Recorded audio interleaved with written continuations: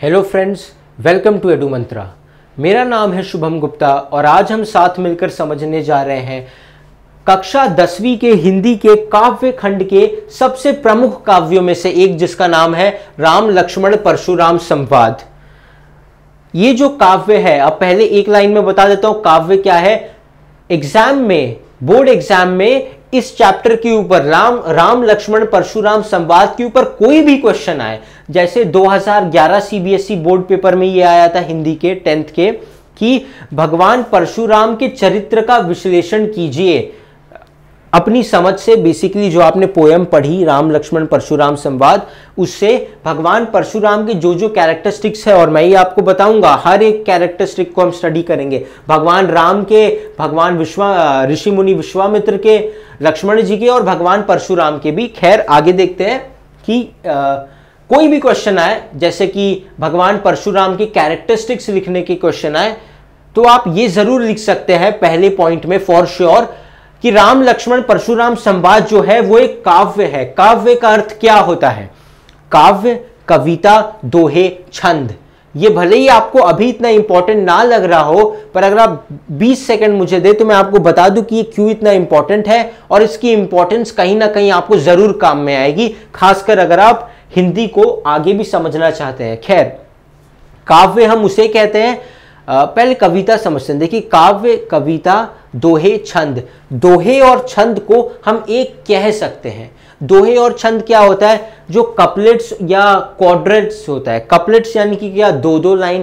क्वाड्रेट्स मतलब क्या? चार चार लाइन। यानी कि दो दो, चार चार लाइन की जो भी पंक्तियाँ हैं या जो भी दो दो या चार चार लाइन के फॉर्म में ब्रेक करके लिखा गया है, वो सब दोहे हैं या छंद आप उन्हें कह सकते हैं। अब काव्य और कविता। कविता हम किसे कहते हैं? कविता जो है वो स्वरचित भी हो सकती है, रचित भी हो सकती है, यानी कि आपके खुद के द्वारा लिखी हो सकती है। किसी दूसरे से इंस्पायर होकर आप लिख सकते हैं। कोई सच लिमिटेशन नहीं है उसमें। बारह लाइन से लेकर के कुछ 122 लाइन तक आप कविता लिख सकते हैं, लेकिन अगर उससे भी ज़्यादा आप कविता एक्सटेंड करते जा रहे हैं तो वो एक काव्य बन जाता है। यानी कि कविता का ही एक्सटेंडेड वर्जन छोटी कविता नहीं, बड़ा कविता, उसे को हम काव्य काव्य कहते हैं और बहुत सारे काव्यों के कलेक्शन को महाकाव्य कहते हैं। जैसे कि राम लक्ष्मण परशुराम संवाद, ये जो काव्य है, ये जो, ये एक छोटा सा अंश है एक महाकाव्य का। महाकाव्य कौन सा है? रामचरित्र मानस रामचरित्र मानस, जो कि श्री तुलसीदास जी की प्रमुख रचना है। रामचरित्र मानस क्या है? भगवान श्री राम के चरित्र के ऊपर लिखी गई है, जो उनका उल्लेख किया गया है पूरा, कि उनके जन्म से लेकर के सीता हरण और फिर रावण दहन, ये सब कुछ जो हुआ, वो सब इस किताब में लिखा गया है। श्री राम के उत्तम चरित्र के बारे में लिखा गया है इसमें। उसी को रामचरित्र मानस कहा जाता है। श्री राम ये दो शब्द जो है वो गो, गोस्वामी तुलसीदास जी के जीवन के सबसे प्रमुख शब्द थे। एनीवेज तुलसीदास जी जो है वो खुद कुछ दोहे लिखते थे और उन्होंने रामचरित्र मानस लिखी थी। रामचरित्र मानस का के बाल कांड में यानी कि अगर आप इसे ध्यान से देखेंगे रामचरित्र मानस जो है, वो काफ़ी बड़ा काव्य है। रामचरित्र मानस एक महाकाव्य है। उसमें से एक काव्य जो है, उसका नाम बालकांड है। उस काव्य के भी एक छोटे से अंश को आपको दिया गया है पढ़ने के लिए। एनीवेज आपको इतना याद रखना है। रामचरित्र मानस के बालकांड से ये जो पोयम है आपकी, वो ली गई है। अब होता क्या है? टू द पॉइंट सिचुएशन समझते हैं कि ये जो प्रसंग है या जो ये जो सिचुएशन है जो कंडीशन है, जो प्लॉट है इस पोयम का वो ऐसे है कि माता जानकी का या माता सीता का, दोनों एक ही है। माता जानकी का या माता सीता का स्वयंवर हो रहा है। स्वयंवर का क्या चैलेंज रखा गया है? चैलेंज क्या है? जो भी शिव धनुष को उठाएगा और उस पर प्रत्यंचा चढ़ाएगा। प्रत्यंचा यानी कि क्या? धनुष में दो एंड्स होते हैं। एक यहाँ पर, एक यहाँ पर। और जो डोरी होती है धनुष की, उसी को प्रत्यंचा कहते हैं। यानी कि एक एंड में धागा या डोरी बांधनी है और खींच करके दूसरे एंड पे बांधना है। तो ये जो आप डोरी बाँध रहे हैं, इस डोरी को प्रत्यंचा कहते हैं। प्रत्यंचा चढ़ाना, यानी कि धनुष को उठाना। ऑफकोर्स उठाए बिना प्रत्यंचा नहीं चढ़ा सकते। झुकाना और प्रत्यंचा चढ़ाना। तो प्रत्यंचा चढ़ानी थी किस पे? शिव धनुष पर। शिव धनुष भगवान शिव का धनुष है। और ये कोई साधारण धनुष नहीं है, बहुत ही शक्तिशाली, तेजस्वी धनुष है। ऐसा कहा गया है रामायण में कि माता सीता के अलावा इसे और कोई नहीं उठा पाता था। यानी कि राजा जनक भी जो थे उन्होंने क्या किया? एक बहुत बड़े ट्रोली पे इस धनुष को लेकर आए थे, क्योंकि उनका कोई भी सैनिक, वो खुद भी धनुष को नहीं उठा सकते थे, केवल उनकी पुत्री उठा सकती थी। खैर, आगे बढ़ते हैं। इसीलिए उन्होंने स्वयंवर में ऐसी शर्त रखी कि वही मेरी पुत्री से विवाह करेगा, जो मेरे पुत्री के समान ही शिव धनुष को उठा सके।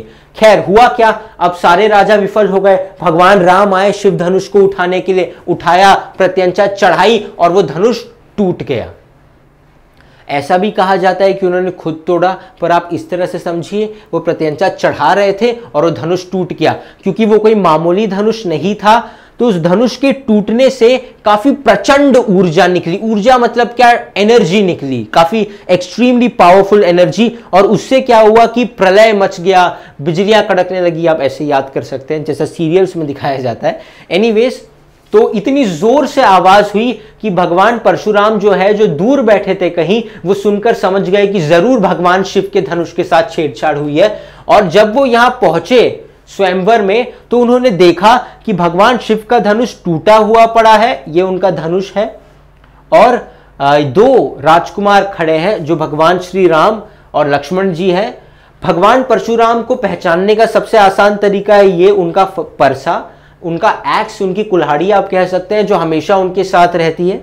ऐसा माना जाता है कि भगवान शिव का वरदान था उन्हें कि उनके परसे का वार, जिस किसी पर भी वो परसे से प्रहार करेंगे, वो कभी खाली नहीं जाएगा। तो प्लॉट ये है, वो आए, उन्होंने देखा धनुष टूटा हुआ है और यहाँ से आपकी पोएम स्टार्ट होती है।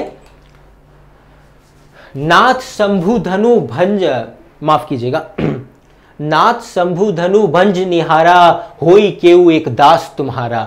नाथ शंभु धनु यानी कि शंभु धनु किसे कहते हैं? यहाँ नंबर वन है, आप नंबर वन देख सकते हैं, भगवान शिव के धनुष को। भंज निहारा यानी कि तोड़ने वाला या खंडित करने वाला, या इस केस में तोड़ने वाला है। एक बार फिर से देखते हैं नाथ शंभु धनु भंज निहारा, होई केऊ एक दास तुम्हारा। नाथ शंभु धनु भंज निहारा, यानी कि शिव धनुष को तोड़ने वाला, होई केऊ एक दास तुम्हारा। शिव धनुष को तोड़ने वाला आपका कोई दास ही होगा। होई यानी कि क्या है? इसे आप हिंदी से रिलेट करके समझिए, आसान है। सिर्फ़ कुछ वर्ड्स जो डिफ़िकल्ट हैं, उनके मीनिंग्स मैंने स्पेसिफिकली स्पेशली दिए हैं। अब आगे देखते हैं। नाथ शंभु धनु भंज निहारा। भगवान शिव के धनुष को तोड़ने वाला होई केऊ एक दास तुम्हारा। आपका कोई, होई का मतलब होगा, केऊ का मतलब कोई। दास का मतलब सेवक, यानी कि भगवान श्री राम हाथ जोड़कर भगवान परशुराम से कहते हैं कि, हे प्रभु, भगवान शिव के धनुष को तोड़ने वाला आपका कोई दास ही होगा। आगे देखते हैं। आयेसु कहा कही किन मोही, सुनी रिसाई बोले मुनि को ही। आइएसु कहा कही किन मोही? आइएसु का अर्थ है आज्ञा, यानी कि ऑर्डर बेसिकली आप कह सकते हैं, कहा कही किन मोही? सुनी रिसाई बोले मुनि को ही रिसाई शब्द का जो अर्थ है, वो क्रोध है। हालाँकि कुछ बुक्स में, जैसे गोल्डन की गाइड में मैंने देखा था कि रिसाई का अर्थ ऋषि दिया है, लेकिन मैं आपको बताऊँ, मेरी नॉलेज के हिसाब से रिस शब्द जो है मैं रिसाई की नहीं, सिर्फ़ रिस की बात कर रहा हूँ। रिस की, इसका अर्थ होता है क्रोध। रिसाई का अर्थ है क्रोध, और इस लाइन में ये बिल्कुल फिट भी बैठा है। हम देखते हैं कैसे। आइएसु कहा किन आइएसु कहा कहिए किन मोही? यानी कि अभी भगवान श्री राम हाथ जोड़े हुए हैं और आज्ञा मांगते हैं भगवान परशुराम से। वैसे जिन्हें नहीं पता, भगवान परशुराम भगवान विष्णु के छठे अवतार हैं और भगवान श्री राम भी भगवान विष्णु के अवतार हैं। एनीवेज भगवान श्री राम भगवान परशुराम से हाथ जोड़कर कहते हैं कि प्रभु, मुझे कुछ कहने की आज्ञा दीजिए, क्योंकि भगवान परशुराम इतने अच्छे योद्धा है, इतने प्रमुख ब्राह्मण है तो उनका सम्मान करते हुए वो कुछ कहने से पहले भी आज्ञा मांगते हैं उनकी। ये इतना उत्तम चरित्र है भगवान श्री राम का। आइएसु कहा, कही कि मोही की, हे प्रभु, मुझे कुछ कहने की अनुमति दीजिए, ये श्री राम कह रहे हैं। सुनी रिसाई बोले मुनि को ही, ये सुनते ही भगवान परशुराम को ही का अर्थ है क्रोध। क्रोधित होकर के बोले, अब वो क्या बोले? वो तीसरी लाइन में है। सेकेंड लाइन का मतलब सिर्फ़ इतना ही है कि भगवान परशुराम गुस्से में थे, टूटे हुए शिव धनुष को देखकर। उन्होंने पहले कहा कि हे प्रभु शिव धनुष को तोड़ने वाला आपका कोई दास ही होगा? क्या मुझे कुछ बोलने की अनुमति है? मैं कुछ बोलूँ? आ, मुझे अनुमति दीजिए कुछ बोलने की। और ये सुनते ही भगवान परशुराम क्रोधित होकर कहते हैं क्या कहते हैं देखते हैं सेवकू सोजो करे सेवकाई अरि करनी करी करिए लड़ाई। अब यहाँ पे आप हिंदी से रिलेट कीजिए लड़ाई का मतलब है लड़ाई।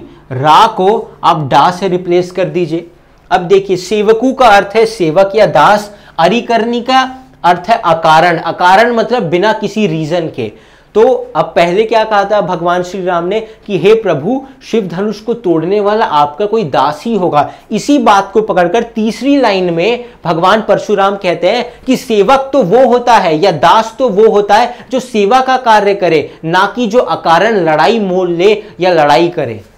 सुनहु राम जे ही शिव धनु। हाँ मैं आपको बता दूँ आई एम सो सॉरी कि ये फ़र्स्ट स्टैंडा जो है पोएम में आपकी बुक में वो काफ़ी बड़ा है। मैंने फ़र्स्ट स्टैंडा इजीली समझ में आया इसलिए उसे तीन पा, तीन तीन लाइन में बांटा है। ये पहली की तीन लाइन है। आगे देखते हैं। अब तक हमने क्या देखा? कि वो कहते हैं कि सेवक वो है जो सेवा का कार्य करे, ना कि अकारण या बिना किसी रीजन के दुश्मनी मोल ले। अब आगे देखते हैं। सुनहु राम जेही शिव धनु तोरा, सहस बाहु समसो रिपु मोरा। जेही, यानी कि जिसने भी शिव धनु यानी कि भगवान शिव का शिव धनुष सहस बाहु या सहस्त्र बाहु, एक लाइन में आपको बता देता हूँ सहस बाहु के बारे में।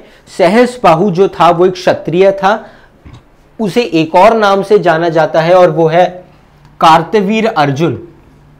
महाभारत के अर्जुन नहीं, कार्तवीर अर्जुन नाम के एक क्षत्रिय राजा थे।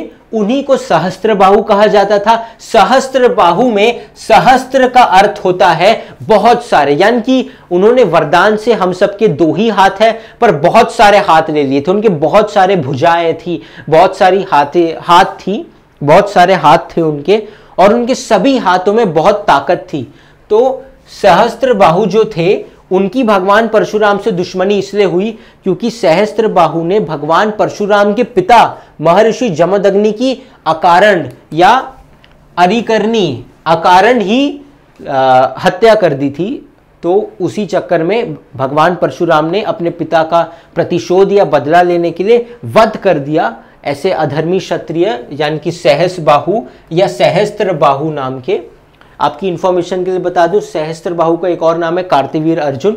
एनीवेस आगे देखते हैं। सहस बाहू समसो रिपु मोरा। रिपु का अर्थ है शत्रु। अब मैंने आपको बताया कि सहस्त्र बाहु जो है, वो भगवान परशुराम का शत्रु था, दुश्मन था। क्यों? क्योंकि सहस्त्र बाहु जो कि क्षत्रिय राजा था, उसने भगवान परशुराम के पिता को, यानी कि पापा पर हमला कर दिया था, उनको मार दिया था। तो वो कहते हैं, जिसने भी शिव धनुष तोड़ा है, वो सहस्त्र बाहु के समान, उसी के जैसे मेरा शत्रु है, यानी कि इतना घोर शत्रु है वो।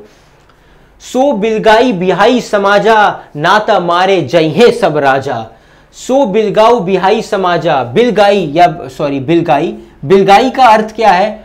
बिलगाई बिहाई समाजा यानी कि अलग हो जाना। यहाँ लिखा है मैंने, नंबर थ्री पॉइंट डाल के अलग हो जाओ।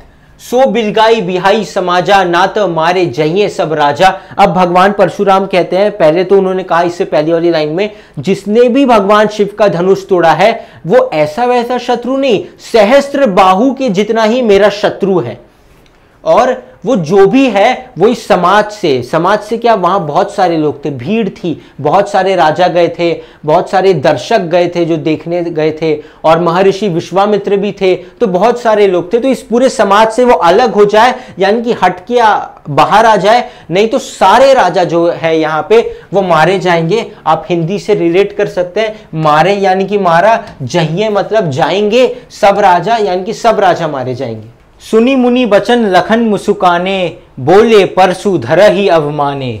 अब यहाँ पे सुनी सुनी यानी कि सुनकर के, मुनि वचन मुनि वचन का क्या अर्थ है? मुनि के वचन को सुनकर के, वचन यानी कि जो उन्होंने कहा। मुनि कौन है यहाँ पर? भगवान परशुराम। ऋषि विश्वामित्र भी है, वो भी एक मुनि है, पर यहाँ पर जो संवाद या जो कॉन्वर्सेशन हो रही है वो सिर्फ़ लक्ष्मण जी और भगवान परशुराम के बीच हो रही है। लास्ट में भगवान श्री राम का और स्टार्टिंग में उनका थोड़ा सा रोल था। जैसे कि आ, पहले वाले पैराग्राफ में मैंने आपको बताया था नाथ शंभु धनु भंज निहारा हुई के हुए के दास तुम्हारा यानी कि भगवान शिव के धनुष को तोड़ने वाला हे प्रभु आपका कोई दास ही होगा। तो भगवान श्री राम का पहले डायलॉग है एक और पोएम के एंड की लास्ट की दो पंक्तियों में उनके डायलॉग्स हैं। बाकी पूरी पोएम में सिर्फ़ लक्ष्मण जी और भगवान परशुराम जी का संवाद है। अब आगे देखते हैं।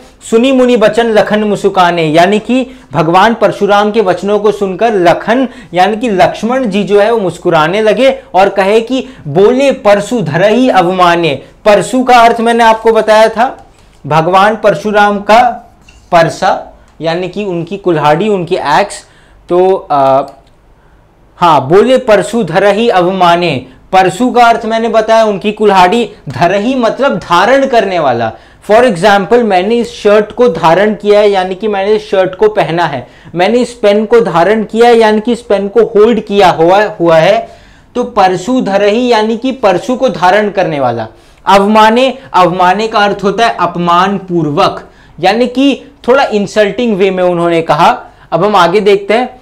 बहु धनु ही तोरी लरिकाई, यानी कि यहाँ तो हमने देखा, बोले परशु धर ही अवमाने, कि परशु को, यानी कि परसे को धारण करने वाले को अपमान पूर्वक लक्ष्मण जी ने कहा, क्या कहा? बहु धनु ही तोरी लरिकाई, कभू नासी ऋषि किन्हीं गोसाई। बहु का अर्थ है बहुत, धनु ही तोरी लरिकाई। देखिए, एक बहुत इंपॉर्टेंट बात यह है कि बहुत सारे वीडियोस में या बहुत सारी जगहों पे आपको इस पोएम के अलग पोएम में जितनी भी लाइंस है फॉर एग्ज़ाम्पल इस लाइन को कंसिडर करते हैं, बहु धनु ही तोरी लरिकाई, कभू नासिर सी किन्हीं गुसाई। तो अगर आप वर्ड बाय वर्ड मीनिंग देखेंगे तो आपको ये बहुत ज़्यादा डिफ़िकल्ट लगेगा। आपको क्या करना है? पूरी लाइन को पढ़िए और हिंदी के वर्ड से, यानी कि जैसी हिंदी हम घर में बोलते हैं, उसके साथ रिलेट कीजिए तो आप आसानी से कर सकते हैं। रिलेट करने का क्या मतलब? कैसे करें? यानी कि ये जो लाइन है, इस लाइन का इतना हिस्सा लेते हैं। बहु धनु ही तोरी लरिकाई। तो इसमें आप एक एक वर्ड का मतलब मत देखिए कि बहु का मतलब क्या है, धनुई का मतलब धनुष होगा, तोरी मतलब क्या है लरिकाई मतलब क्या है, नहीं। इसे पूरा सेंटेंस पढ़िए और जो भी आप हिंदी लैंग्वेज से इंटरप्रेट कर सकते हैं, उसे अलग कर लीजिए। जैसे लरिकाई मतलब लड़कपन में, बहु का मतलब तो बहुत सिंपल है, बहुत। हिंदी में क्या, संस्कृत में भी जहाँ पर भी बहु दिखे तो सास बहु नहीं है, बहु मतलब बहुत। अब आगे देखते हैं। बहु धनु ही तोरी लरिकाई, कभू नासी ऋषि किन्हीं गुसाई। बहु मतलब बहुत धनुष तोड़े हमने लरिकाई में, यानी कि लड़कपन में। लड़कपन किसे कहते हैं? बचपन का ही पर्यावाची शब्द है लड़कपन। तो यानी कि अब भगवान परशुराम के शब्दों को सुनकर लक्ष्मण जी कहते हैं अपमान पूर्वक भाषा में कि हमने तो अपने बचपन में बहुत से धनुष तोड़े हैं। कभू ना असी ऋषि किन्हीं गोसाई। पर कभू ना मतलब कभी नहीं। कभी भी किसी ऋषि ने क्रोध नहीं किया। गोसाई का मतलब होता है स्वामी। ठीक है? पर कुछ कुछ बुक्स में गोसाई का मतलब ऋषि भी दिया होगा। गोल्डन की जो गाइड है क्लास टेंथ हिंदी की, उसमें गोसाई का मतलब ऋषि दिया है। बट एक्चुअली में गोसाई का मतलब स्वामी होता है। गोसाई जो है, वो गाय पालने वाले को या किसी प्रॉपर्टी के मालिक को हम गोसाई कहते हैं। ऋषि भी आप कह सकते हैं। दोनों ही वर्ड्स हैं जो भगवान परशुराम पे सही बैठते हैं। ऋषि वो है ही और स्वामी आ, स्वामी भी आप कह सकते हैं उन्हें।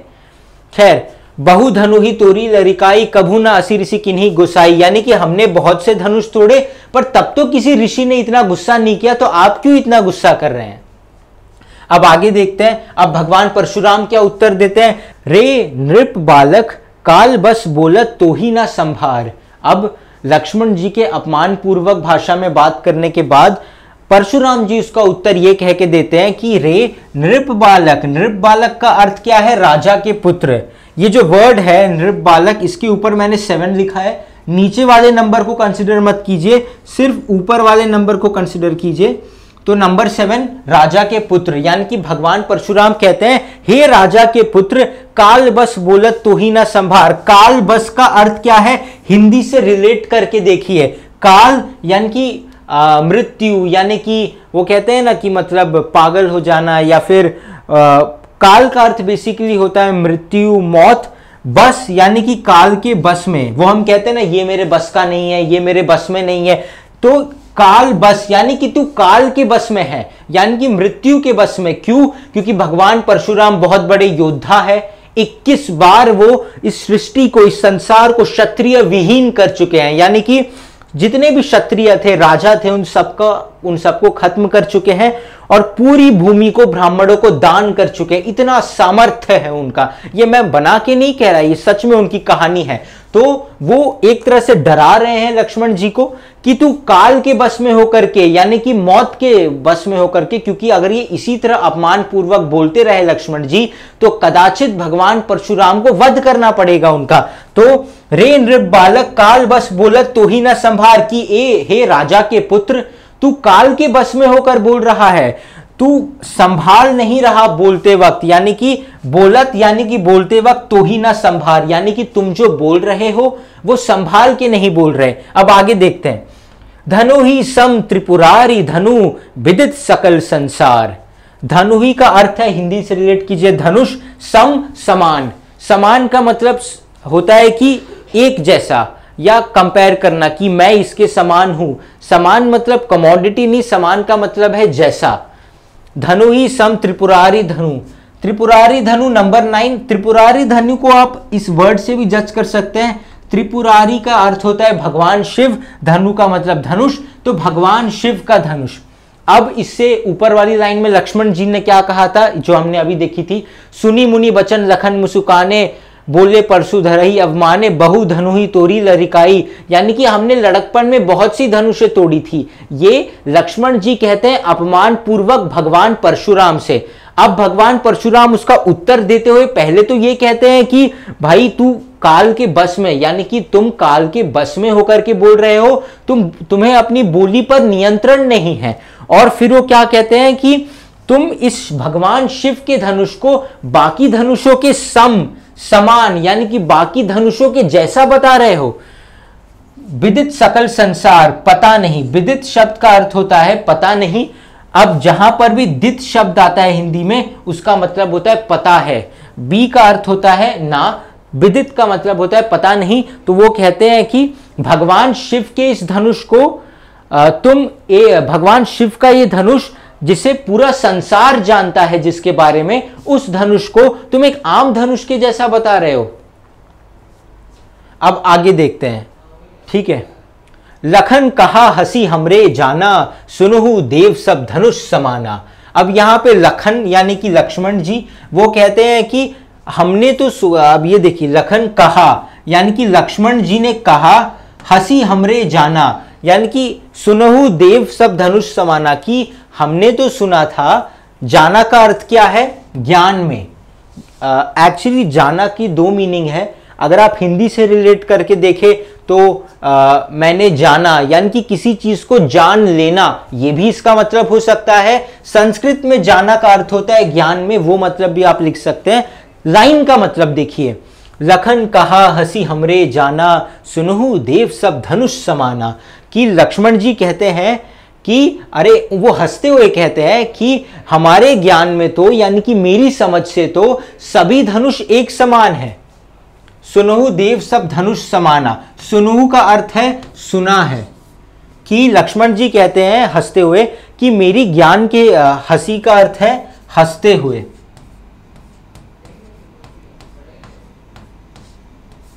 क्यों कहते हैं हँसते हुए लक्ष्मण जी? किस बात पे कहते हैं? इससे पहले मैंने आपको बताया कि जब भगवान परशुराम कहते हैं कि, हे नृप बालक, क्या तू नहीं जानता कि भगवान शिव का धनुष है? फिर वो क्या कहते हैं? हँसते हुए कि, हमने तो सुना है कि सब धनुष एक समान होते हैं। का छति लाभू जून धनु तोरे। अब ये जो जून शब्द है यहाँ पे, इसे आप जूना हिंदी या मराठी के वर्ड से रिलेट कर सकते हैं। जूना का अर्थ होता है पुराना मराठी में। जून शब्द का अर्थ यहाँ पे भी पुराना ही है। का छति लाभू। क्षति लाभू का अर्थ होता है नुकसान या फ़ायदा। तो भगवान तो लक्ष्मण जी कहते हैं, भगवान लक्ष्मण जी हँसते हुए कि हे मुनिवर, कि हे ऋषि मुनि हे भगवान परशुराम, मेरे ज्ञान में मैंने तो सुना है कि सभी धनुष एक समान होते हैं। तो इस जून, यानी कि इस जूने, यानी कि इस पुराने धनुष को तोड़ने में क्या क्षति, क्या लाभ, क्या नुकसान, क्या फ़ायदा?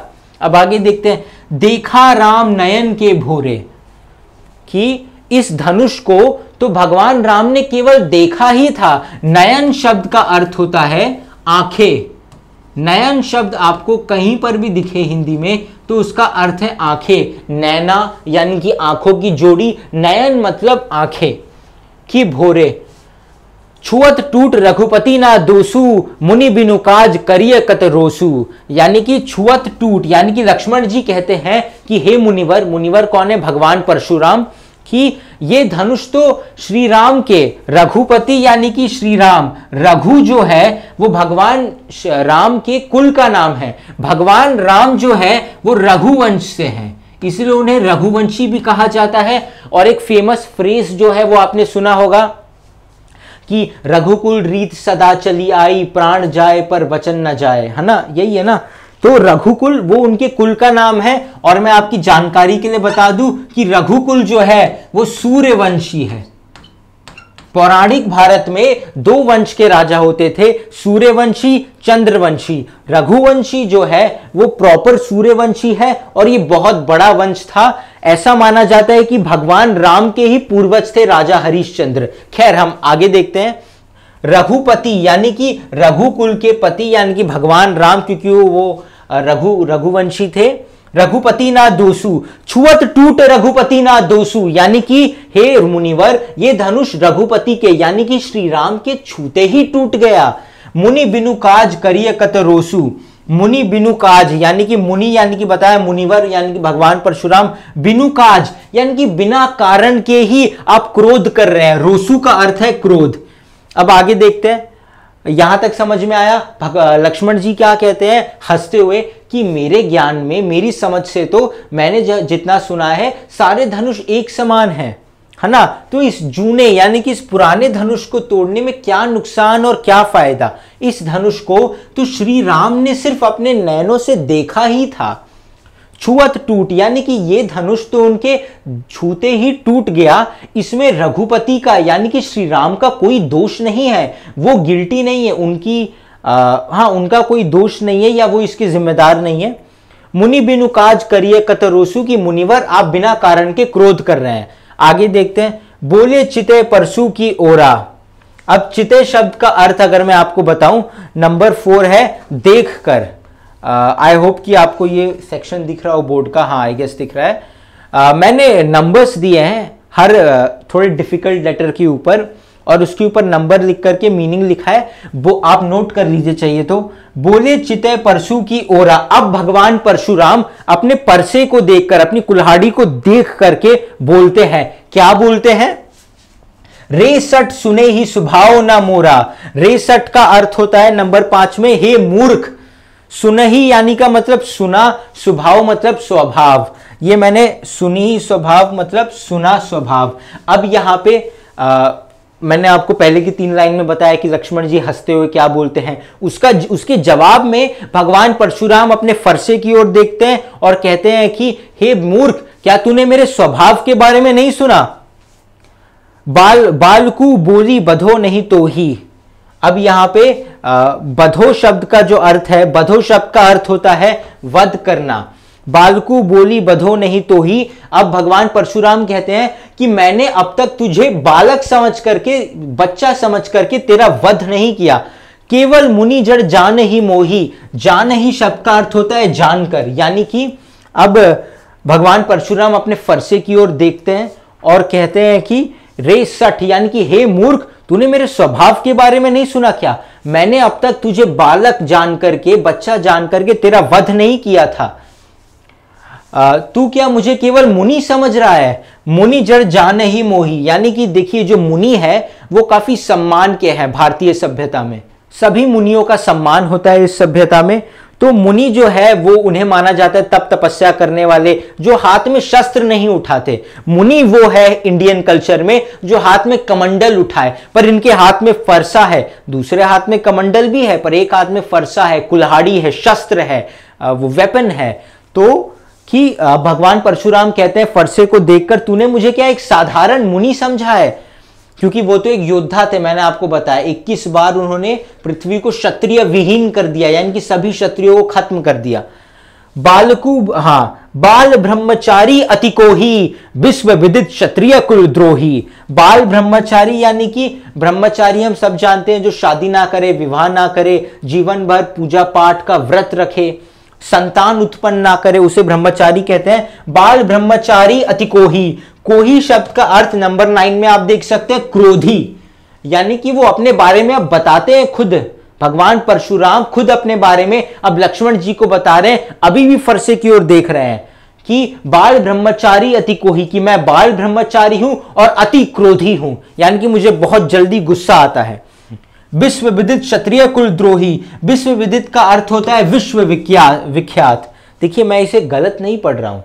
एक्चुअली विश्व विदित ये एग्जैक्टली exactly लिखा गया है। आपको लग रहा होगा कि विश्व विदित होना चाहिए, पर संस्कृत में उच्चारण अलग तरीके से किया जाता है, पर क्योंकि ये हिंदी में लिखी गई है, इसे वी की जगह ब लिखा गया है। विश्व विदित क्षत्रिय कुल द्रोही विश्व विदित का अर्थ है विश्व विख्यात यानी कि बहुत फ़ेमस बहुत पॉपुलर यानी कि जिसके बारे में पूरा विश्व, पूरा वर्ल्ड जानता हो। तो क्या लिखा है कि मैं बाल ब्रह्मचारी हूँ और बहुत क्रोधी हूँ। और मैं पूरे दुनिया भर में क्षत्रिय कुल का, यानी कि जो भी क्षत्रिय है, उनका द्रोही, यानी कि शत्रु, उनका दुश्मन होने के नाते मशहूर हूँ। ये वो कहते हैं। भुजबल भूमि भूप बिनु की किन्ही विपुल बार मही देव न दिन ही। फिर से देखते हैं, भुजबल भूमि भूप बिनु किन्ही विपुल बार मही देव ने दिन ही। अब जैसा मैंने आपको बताया था कि भगवान परशुराम के बारे में ऐसा कहा जाता है, कहा नहीं जाता, उन्होंने ऐसा किया था कि 21 बार, एक नहीं 21 बार उन्होंने पूरी पृथ्वी के सभी क्षत्रियों को मार दिया और पूरी पृथ्वी को ब्राह्मणों को दान में दे दी, सभी ब्राह्मणों को। अब हम देखते हैं क्या हुआ था कि भुजबल का अर्थ होता है भुजाओं के बल से, भुजाओ, हाथों के, भुजाओं के बल से। भूमि, भूप, बिनु की नहीं। अब वो इस लाइन में वही कह रहे हैं जो मैंने आपको बताया। महिदेव न दिन ही महिदेव न इस शब्द का अर्थ होता है ब्राह्मणों को दान देना। तो इस लाइन में वो यही कह रहे हैं कि मैंने अब कई बार अपने भुजाओं के बल से इस भूमि को क्षत्रिय विहीन कर दिया और मही देवन दिन ही, यानी कि मही देवन मही देवन यानी कि ब्राह्मणों को दिन ही मतलब दान में दे दिया। अब आगे देखते हैं। सहस बाहु भुज छेद निहारा परसु बिलोकु महीप कुमारा। सहस बाहु भुज भुज छेद निहारा। यानी कि सहस बाहु के बारे में मैंने आपको बताया सहस्त्र बाहु वो जो राजा था जिसने उनके पिता को मार दिया था, भगवान परशुराम के पिता को, उसको, उसके बहुत सारे हाथ थे, बहुत हाथ को क्या कहते हैं, भुजा, यानी कि उसकी बहुत सारी भुजाएँ थी। उन सभी भुजाओं को काट दिया था भगवान परशुराम ने। और आगे देखते हैं सहस बाहु भुज छेद निहारा। छेद निहारा का अर्थ छेदने वाला नहीं होता है। छेद निहारा का अर्थ होता है काटने वाला, ठीक है? सहस बाहु के भुजाओं को, हाथों को मैंने काट दिया, परसु बिलो को महीप कुमारा। अपने फरसे को अभी भी देख रहे हैं और देखते ये मेरे फरसे का प्रताप है। महीप मेरे फरसे की, मेरे परसे की महिमा है। अब आगे क्या लिखा है? माँ तू पिता ही जनी सोच बस करसी महिषा किशोर। आ, नहीं नहीं मैंने गलत पढ़ा। मातु पिता ही जनी सोच बस करसी महिष किशोर गर्भन के अर्भक दलन परसु मति मोर अति घोर। अब यहाँ पे एकदम इजीली इजी वर्ड्स को टारगेट करो। पहले फ़र्स्ट लाइन देखो ठीक है? मातु पिता ही जनी सोच बस। मातु पिता ही का मतलब हिंदी से रिलेट कीजिए इसका अर्थ है माता और पिता यानी कि माता पिता यानी कि मॉम डैड माता और पिता सोच बस करसी महिषा महिष किशोर महिष किशोर लक्ष्मण जी को कहा गया है। लक्ष्मण जी के दो नाम है इस कविता में। एक तो उन्होंने उनको आ, हाँ नृप बालक के नाम से बोला था मैंने आपको बताया था। पिछले साइड में रे नृप बालक नृप बालक का क्या मतलब है? राजा के पुत्र। लक्ष्मण जी के तीन नाम है इस कविता में। उन्हें अगर आप देखेंगे तो इस नाम से बुलाया गया है कहा गया रे नृप बालक यानी कि राजा का पुत्र लखन, यानी कि लक्ष्मण जी को लखन भी कहा गया है कई बार। और लक्ष्मण जी का एक और नाम जो आया वो है महिष किशोर। अब महिष किशोर भी लक्ष्मण जी को ही कहा गया है। मैं एक लाइन में आपको बता देता हूँ, ये नाम उनको क्यों दिया गया है? वो इसलिए क्योंकि नृप बालक नाम उनको इसलिए दिया गया क्योंकि वो राजा के पुत्र थे। महिष किशोर इसलिए क्योंकि महिष जो है, वो राजा दशरथ का दूसरा नाम है। जैसे कि भगवान हनुमान को, हनुमान जी को संकट मोचन भी कहा जाता है, वैसे राजा दशरथ को महिष भी कहा जाता है, किशोर यानी कि उनके ललना, उनके किशोर। तो उनके पुत्र हैं, राजा दशरथ के पुत्र है लक्ष्मण जी, इसलिए महिष किशोर यानी कि लक्ष्मण जी को तीसरा नाम दिया गया है, महिष किशोर। अब इस इस अंतिम दो लाइन में भगवान परशुराम क्या कहते हैं, मातु पिता ही जनी सोच बस करसी महिषा किशोर। सॉरी, मातु पिता ही जनी सोच बस करसी महिष किशोर, गर्भना के अर्भक दलन, परसु मोर अति घोर। अब वो क्या कहते हैं कि अपने माता पिता के बारे में सोच कर सोच लक्ष्मण जी को कहते हैं, वो हे राजा के पुत्र, अपने माता पिता के बारे में सोचो। मेरा जो परसा है, मेरी जो कुल्हाड़ी है, वो इतनी भयंकर है कि उसकी सिर्फ़ गरजने मात्र से मतलब मैंने उससे प्रहार नहीं किया, उसके सिर्फ़ गरजने मात्र से इतनी प्रचंड, यानी कि इतनी टेरिबल गर्जना निकलती है कि औरत के गर्भ में पल रहा बालक भी मृत्यु को प्राप्त हो जाता है। यानी कि इतनी प्रचंड है। वो ऐसे बताते हैं। अब हम आगे देखते हैं। चलिए अब आगे समझते हैं। बिहसी लखनऊ बोले मृदुबानी, अहो मुनिसु महावटमानी। यानी कि अब बिहसी यानी कि हँसते हुए लक्ष्मण जी क्या कहते हैं? मृदुवाणी यानी कि कोमल वाणी में कहते हैं कि, हे मुनिवर, मैंने तो आपको महाभट माना था। महाभट मानी, यानी कि मानी को आप कुछ देर के लिए माना समझिए। महाभट माना महाभट का अर्थ मैंने लिखा है महान योद्धा। अब लक्ष्मण जी हँसते हुए क्या कहते हैं? हँसते हुए ऐसे नहीं कोमल वाणी में, यानी कि प्यार से, मृदुवाणी में क्या कहते हैं? कि, हे मुनिवर, मैंने तो आपको महाभट, महान योद्धा माना था। पुनि पुनि मोहु दिखाव कुठारू। यानी कि अब पुनि पुनि का अर्थ होता है बार बार कि, हे मुनिवर, आप बार बार मुझे अपना कुठारू, यानी कि फरसा, अपनी कुल्हाड़ी दिखा रहे हैं। चहत उड़ावन फूकी पहाड़ू। क्या आप फूक मारकर पहाड़ उड़ाने की चेष्टा कर रहे हैं या कोशिश कर रहे हैं? तो एक्चुअली यहाँ क्या लिखा है? बिहसी लखनऊ, यानी कि हँसते हुए कोमल वचनों में, यानी कि परशुराम जी जो है, हमने पहले के पैराग्राफ्स में देखा, वो पहले ही बहुत क्रोधित हो चुके हैं। परशुराम जी क्रोधित, यानी कि गुस्से में क्यों हैं, ये हम इस लाइन से समझ सकते हैं। इससे पहले वाले पैराग्राफ की, कि वो खुद कहते हैं कि मातु पिता ही जनी सोच बस करसी महिष किशोर। यानी कि अपने माता पिता के बारे में सोच करके बात करो बच्चे। तुम्हें नहीं पता, मेरा जो कुल्हाड़ी है, मेरा जो परसा है, वो इतना भयंकर है कि इसके प्रचंडता से, इसके प्रचंड वेग से गर्भ में पड़ रहा बालक भी मर जाता है तो उनकी इस बात से ही हम समझ सकते हैं कि भगवान परशुराम ऑलरेडी गुस्से में है। ऐसे में वो उन्हें और गुस्सा दिला रहे हैं। ये हंसकर कोमल वाणी में कहते हुए कि, हे मुनिवर, मैंने तो आपको महान योद्धा माना था, पर आप तो पुनी पुनी बार बार मुझे अपना कुठारू, यानी कि अपना फरसा दिखा रहे हैं। क्या आप फूक मारकर पहाड़ उड़ाना चाहते हैं? अब आगे देखते हैं। यहाँ कुम्हड़ बतिया कोई नाही, जे तर्जनी देखी मरी जाही। अब ये सबसे इंपॉर्टेंट पॉइंट है। ये पैराग्राफ पूरे पोयम के सबसे इंपॉर्टेंट पैराग्राफ्स में से एक है, या कह दीजिए सबसे इंपॉर्टेंट है, इस लाइन की वजह से। यहाँ मैंने एस्ट्रिक या स्टार मार्क किया है। कुम्हड़ बतिया कुम्हड़ बतिया किसे कहते हैं? कई जगहों पे रेफरेंस बुक्स में कुम्हड़ बतिया को इस तरह से कहा गया है कि कमज़ोर कोई नहीं है। यानी कि कुम्हड़ बतिया का एक अर्थ आपको जो मिलेगा कई रेफरेंस बुक्स में, वो है कमज़ोर। यानी कि वीक होना, कमज़ोर होना, पर कुम्हड़ बतिया का एक और अर्थ जो है, ये मैंने यहाँ लिखा है स्टार मार्क करके आई होप आपको दिख रहा हो, उसका अर्थ होता है कद्दू का फल। यानी कि कद्दू का फल तो कद्दू ही होगा एक्चुअली ये कद्दू का फूल होना चाहिए। यानी कि कद्दू का जो वृक्ष नहीं होता है, बहुत बड़े वृक्ष अच्छे खासे प्लांटेशन होते हैं तो जो पंपकिन का जो प्लांट होता है उसमें भी फूल निकलते हैं फूल फरते हैं। कद्दू तो फरता ही है क्योंकि वो कद्दू का ही प्लांट है पर फूल निकलते हैं। तो ऐसा माना जाता है कि माना नहीं जाता सच में जो कद्दू का फूल है वो काफ़ी मुलायम और काफ़ी काफ़ी क्या कह सकते हैं उसको हम्म, काफ़ी मुलायम होता है और वो काफ़ी कमज़ोर होता है आप ऐसा कह सकते हैं। और अगर आप उसे छुएँगे भी तर्जनी किसे कहते हैं? यानी कि अपने हाथ की सबसे छोटी वाली उंगली को तर्जनी उंगली कहते हैं। यानी कि कद्दू का फूल, अगर आप कहीं गाँव वगैरह में जाए तो आप उसे अपनी तर्जनी उंगली से छुएँगे भी तो तो वो मुरझा जाएगा, मुरझा नहीं जाएगा, पर उसकी पंखुड़ियाँ बंद हो जाएगी और वो सिकुड़ जाएगा अपने आप में। तो इतना कोमल और इतना नाजुक हाँ नाजुक वो वर्ड था, नाजुक होता है। तो कुम्हड़बतिया यानी कि कद्दू के फूल को कद्दू के फूल को कुम्हड़बतिया कहते हैं और वो इतना नाजुक है कि तर्जनी उंगली। वैसे तर्जनी उंगली के बारे में यह है कि इसी उंगली पर कृष्ण भगवान ने पूरा पर्वत उठाया था। एनीवेज तर्जनी, यानी कि सबसे छोटी उंगली से भी आप उसे छू देंगे तो वो मुरझा सा जाएगा, सिकुड़ सा जाएगा। तो अब वो और और गुस्सा दिलाते हुए भगवान परशुराम को लक्ष्मण जी कहते हैं, यहाँ कद्दू का फूल कोई नहीं है, या यहाँ इतना कोई कमज़ोर नहीं है, जो तर्जनी उंगली देखकर ही मर जाएगा।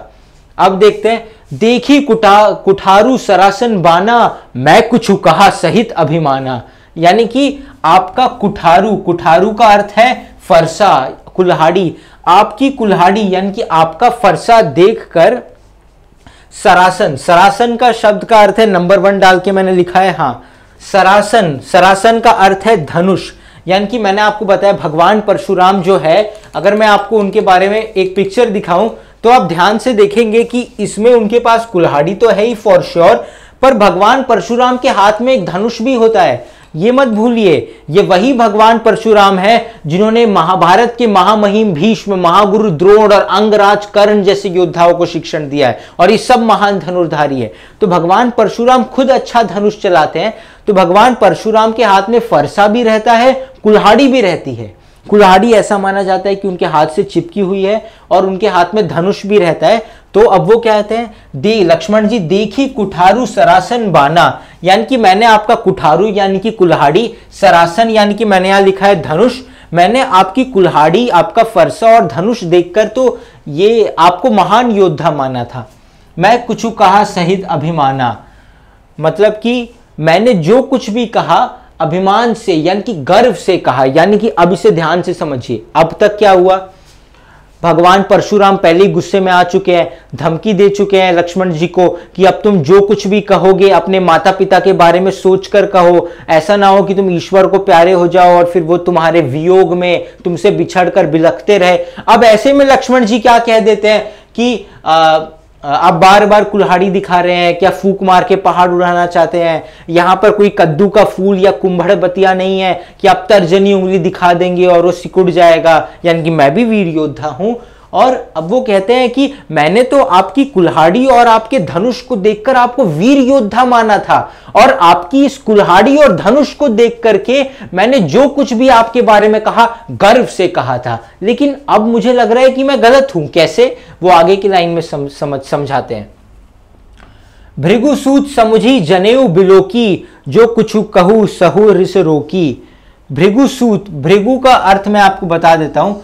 भृगु शब्द का अर्थ भूमि नहीं होता है। भृगु जो है, वो एक वंश का नाम है। जैसे थोड़ी देर पहले मैंने आपको रघुवंश के बारे में बताया था, जो कि सूर्य वंश के अंदर आता है। भारत में दो वंश थे, सूर्य वंश, चंद्र वंश। सूर्य वंश में एक और वंश है रघुवंश सूर्य वंश का ही भाग है। अब मैं आपको बताता हूँ, सूर्य वंश की तरह या रघुवंश की तरह भृगुवंश भी एक था। भृगु जो थे, वो भगवान परशुराम के ग्रेट ग्रैंडफादर या ग्रैंडफादर आप कह सकते हैं। ग्रेट ग्रैंडफादर थे या ग्रैंडफादर वो तो मुझे एग्जैक्टली exactly पता नहीं, पर वो भृगु वंश के वंशज है, भगवान परशुराम, जैसे श्री राम रघुवंश के वंशज है। अब आगे देखते हैं तो जहाँ पर भी भृगु शब्द का अर्थ हो, आप समझ जाइए कि भगवान परशुराम के बारे में बात की जा रही अब देखते हैं, भृगु सुत समझू, जनेऊ बिलो की जो कुछ कहू, किन्हर से रोकी। यानी कि हे भृगुवंशी, यानी कि हे भगवान परशुराम, आप बिलोकी का अर्थ होता है देखकर।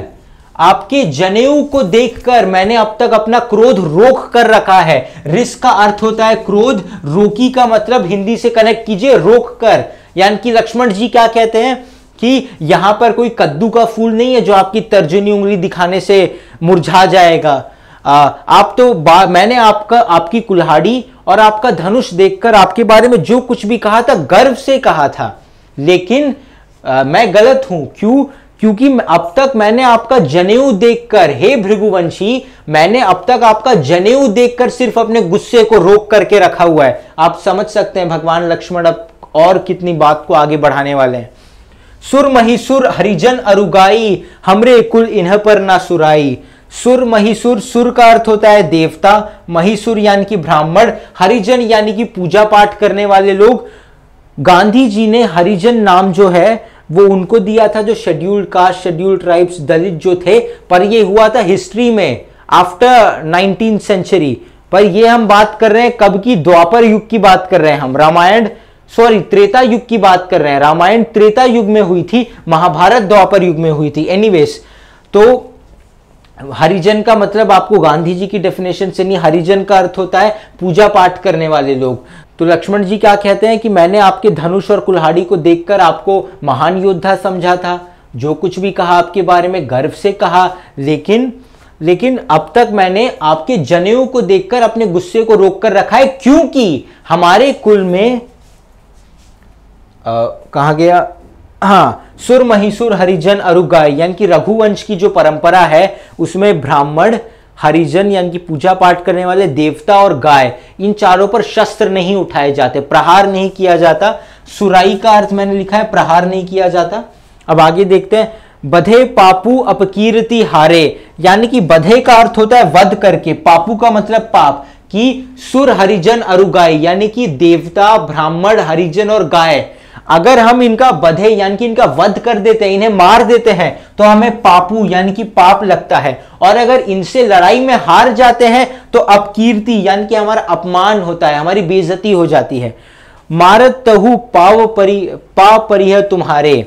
मार तहु यानी कि एक्चुअली पोएम में पा दिया है, पर मैंने पाव लिखा है ताकि आपको समझ में आए कि हम पैर की बात कर रहे हैं। तो अब वो कहते हैं कि सुर महिसुर हरिजन गाय इन चारों का अगर हम वध कर देते हैं तो पाप लगता है। इनसे लड़ाई में हार जाते हैं तो हमारी बेजती होती है हमारी अपकीर्ति हो जाती है हमारा यश जो है वो नष्ट हो जाता है। और इसलिए अगर आप मुझे मारेंगे भी तब भी, भी मैं आपके पाँव ही पढ़ूँगा परिह यानी कि पढ़ना पढ़ूँगा ये कौन कह रहा है? लक्ष्मण जी भगवान परशुराम से। अब आगे देखते हैं। कोटि सम बचनु तुम्हारा व्यर्थ धरु धनु बाण कुठारा।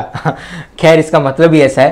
कोटि कुलिस यानी कि को, कुलिस का अर्थ होता है कठोर। अब लक्ष्मण जी कह रहे हैं कि आपके तो वचन ही इतने कठोर है। आपने तो व्यर्थ में एक्चुअली व्यर्थ लिखा है लेकिन हिंदी में व्यर्थ है। आपने तो व्यर्थ में ही धनुष और ये अपना, अपनी कुल्हाड़ी उठाई हुई है। यानी कि आप इतना तीखा बोलते हैं, इतने कठोर है आपके वचन कि आपको शस्त्र की आवश्यकता ही नहीं है। आप अपने वचनों से ही चोट पहुंचाते हैं। तो ये उनका मज़ाक उड़ा रहे हैं। अब आगे देखते हैं।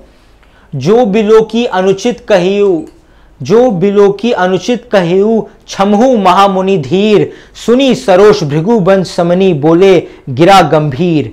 यानी कि जो बिलो की, यानी कि ये देख करके, जो भी लक्ष्मण जी कह रहे थे, वो सुन करके और उन्हें देख करके जो भी अनुचित कह रहे थे मतलब एक्चुअली लक्ष्मण जी को वैसे बात नहीं करनी चाहिए थी तो जो कुछ भी लक्ष्मण जी ने कहा, उन्हें सुन करके, देख करके चमू महामुनि धीर भगवान परशुराम ने उन्हें क्षमा करने के बारे में नहीं सोचा, वो गंभीर विचार करने लगे उस बात पर। इन दो लाइन का एक ही मतलब है, जो भी लोकी का मतलब होता है, देखकर अनुचित कहे यानी कि जो भी अनुचित कहा क्षमहु यानी कि क्षमा कर दो महामुनि धीर की धीरज रखने वाले महामुनि, यानी कि भगवान परशुराम। सुनी सरोष भृगु बंशमनी बोले गिरा गंभीर। अब लक्ष्मण जी कहते हैं कि हे हे प्रभु, मैंने जो भी अनुचित कहा हो, उसे सुन करके आप मुझे माफ़ कर दीजिए। अब आप खुद सोचिए कि कितना व्यंगात्मक है, कितना कॉमेडी है इसमें एक तरह से, कि इससे पहले वाले पैराग्राफ्स में वो खुद भगवान परशुराम को चढ़ाते हैं। कौन? भगवान श्री लक्ष्मण जी। भगवान लक्ष्मण जी, वो बार बार कहते हैं कि आपने तो व्यर्थ में ये रखा है। व्यंगात्मक, व्यंग्यात्मक, यानी कि हास्य शैली में वो मज़ाक उड़ाते हैं भगवान परशुराम का और लास्ट में माफ़ी भी मांगते हैं कि, हे मुनिवर, अगर मैंने कुछ अनुचित कह दिया हो तो मुझे माफ़ कर दीजिएगा। अब ये सुनकर भृगुवंश के जो है, भृगुवंशी, यानी कि भृगुवंश के भगवान परशुराम है, वो सोचते हैं और सोचकर वो क्या बोलते हैं, अब देखते हैं। कौशिक सुनहु मंद यहु बालक, कुटिल काल बस निज कुल घालक। कौशिक किसे कहते हैं? कौशिक जो है, ये कहा गया है विश्वामित्र जी को। मैंने आपको वीडियो के स्टार्टिंग में ही बताया था, इससे पहले वाले पार्ट में, कि विश्वामित्र जो है, विश्वामित्र जी जो है, वही है जो भगवान राम और लक्ष्मण जी को सीता जी के या माता जानकी के स्वयंवर में लेके आए थे। तो राम जी, लक्ष्मण जी, भगवान परशुराम और विश्वामित्र जी भी है, पर उन्होंने कुछ कहा नहीं है। विश्वामित्र जी का ही नाम कौशिक है, जैसे लक्ष्मण जी के तीन नाम है, लखन, नृप बालक और और क्या नाम था उनका? और एक नाम था? हाँ महिष किशोर। ये तीन नाम है लक्ष्मण जी के। उसी तरह इनका भी एक नाम है विश्वामित्र जी का, कौशिक। पोयम में एक ही नाम यूज़ किया गया विश्वामित्र जी के लिए, कौशिक। कौशिक सुनोहु मंद येहु बालक, कुटिल काल बस निजुकुल घालक। अब क्रोध में वो लक्ष्मण जी से नहीं, भगवान परशुराम विश्वामित्र जी से कहते हैं, क्योंकि वो भी एक महामुनि है, कि हे विश्वामित्र जी, सुनो, ये बालक मंद है, मंद बुद्धि है, बेवकूफ़ है। येहु बालक, कुटिल काल बस निजकुल घालक की ये काल के बस में, यानी कि मृत्यु के वश में होकर के कुटिल वचन कुछ भी बोल रहा है और ये अपने कुल का विनाश कर देगा। कुल घालक, खालकू, यानी कि कुल का विनाश कर देगा। भानु बस रोकस, कलंकु, निपट निरकंसु, अभुदु असंकु। अब यहाँ पे भगवान परशुराम कहते हैं। अब इसे ध्यान से पढ़िए। भानु बस रोकस कलंकु, निपट निरंकसु अभुदु असंकु। काल कवलु होई छन माही, कहो पुकारी खोरी मोहिनाही अब यहाँ पे भगवान परशुराम कहते हैं कि इस बालक की स्थिति वैसी ही है जैसे सूर्यवंशी होने पर भी चंद्रमा में कलंक है। यानी कि अब अगर मैं इस बालक का वध कर दूँ तो मुझे कोई दोष मत देना। मतलब इसने मुझे पहले ही बहुत गुस्सा दिला दिया है। तो ये इन लाइंस का मतलब है यहाँ पे मैंने मीनिंग भी मंगल फॉन्ट से टाइप करके लिखा है आप देख सकते हैं कि इसकी स्थिति उसी तरह है, जैसे सूर्यवंशी होने पर भी चंद्रमा में कलंक है। इसका मतलब क्या है? देखिए, रघुवंश सूर्यवंश से निकला है। सूर्यवंश जो है, उसमें कलंक नहीं है। कलंक सिर्फ़ चाँद में है, चंद्रमा में है। कलंक का अर्थ क्या है? चाँद में भी कुछ दाग होते हैं। मेरे चेहरे पे भी कुछ दिख रहे होंगे। एनीवेज चाँद में भी कुछ दाग होते हैं। सूर्य जो है, उसमें कोई दाग नहीं है। सूर्य जो है वो इतना तेजस्वी है कि दोपहर के सूर्य को आप देख ही नहीं सकते। तो वो कह रहे हैं कि ये बालक सूर्यवंशी भी होकर, सूर्यवंशी होकर भी चंद्रमा की तरह इसमें दाग है। ये इसका मतलब है कि ये बालक जो है सूर्यवंशी तो है, पर चंद्रमा की तरह दाग है इसमें, जबकि सूर्य में दाग नहीं होने चाहिए। अब आगे देखते हैं कि हुई छन माही की अगर इस बालक का वध अभी मैंने कर दिया खोरी मोही नाही. खोरी का अर्थ है दोष. मोही का मतलब है मेरा. अब भगवान परशुराम कहते हैं कि अब अगर मैंने इसका वध कर दिया तो मेरा दोष नहीं है इसमें। तुमहु हट कहू, जो चाहू उबारा, कही प्रतापु बलु रोष हमारा। अब भगवान परशुराम कहते हैं, तुम ही हट कहू। यानी कि विश्वामित्र को कहते हैं, कौशिक, कि अब तुम ही इसे बताओ। तुम ही इसे इस काल के बस से उबारो। और इसे बताओ मेरे प्रताप के बारे में, मेरे बल के बारे में और मेरे क्रोध के बारे में। रोशु शब्द जहाँ कहीं भी आपको दिखे, उसका अर्थ पहले वाली स्लाइड में भी बताया था, यहाँ पे भी बता देता हूँ। रोसु शब्द का अर्थ होता है क्रोध। ठीक है? हाँ वो तो अब इस पूरे पैराग्राफ में भगवान परशुराम क्या कहते हैं? कि विश्वामित्र को कहते हैं। लक्ष्मण जी की तरफ़ देखते भी नहीं है। विश्वामित्र की तरफ़ कहते हैं कि हे कौशिक, ये जो बालक है, ये काल के बस में होकर के कहीं आज अपने पूरे कुल का विनाश ना करवा दे। यानी कि भगवान परशुराम कर देंगे वो विनाश। भानु बस रोकस कलंकु, निपट निरकंसु अभधु असंकु, कि ये जो है, ये काल के बस में होकर बोल रहा है, इसकी स्थिति ऐसी है, जैसे सूर्यवंशी होते हुए भी चंद्र की तरह दाग है इसमें। यानी कि ये गलत कर रहा है मतलब इसमें अवगुण है। दाग मतलब अवगुण, बुराइयाँ हैं। तो अब अगर मैंने इस बालक का वध कर दिया तो कोई मुझे दोष नहीं देना। और और भगवान परशुराम ये भी कहते हैं कि अब तुम ही इसे मेरे प्रताप, बल और क्रोध के बारे में बताओ। विश्वामित्र से कहते हैं, अब देखते हैं। लखन कयु मुनि सुजुसु तुम्हारा, तुम ही अछत को बरने पारा। अब लक्ष्मण जी हँसते हुए कहते हैं कि हे मुनिवर, उनसे आप क्यों कह रहे हैं विश्वामित्र जी से? विश्वामित्र यानी कि कौशिक जी से। आप खुद ही अपनी बढ़ाई इतनी अच्छी कर लेते हैं कि आपको और किसी की ज़रूरत ही नहीं है। अब यहाँ पे आपने देखा हो कितने मतलब हास्यात्मक तरीके से कहते हैं कि लखन कहो मुनि सुजुस तुम्हारा, तुम ही अछत को भरने पारा।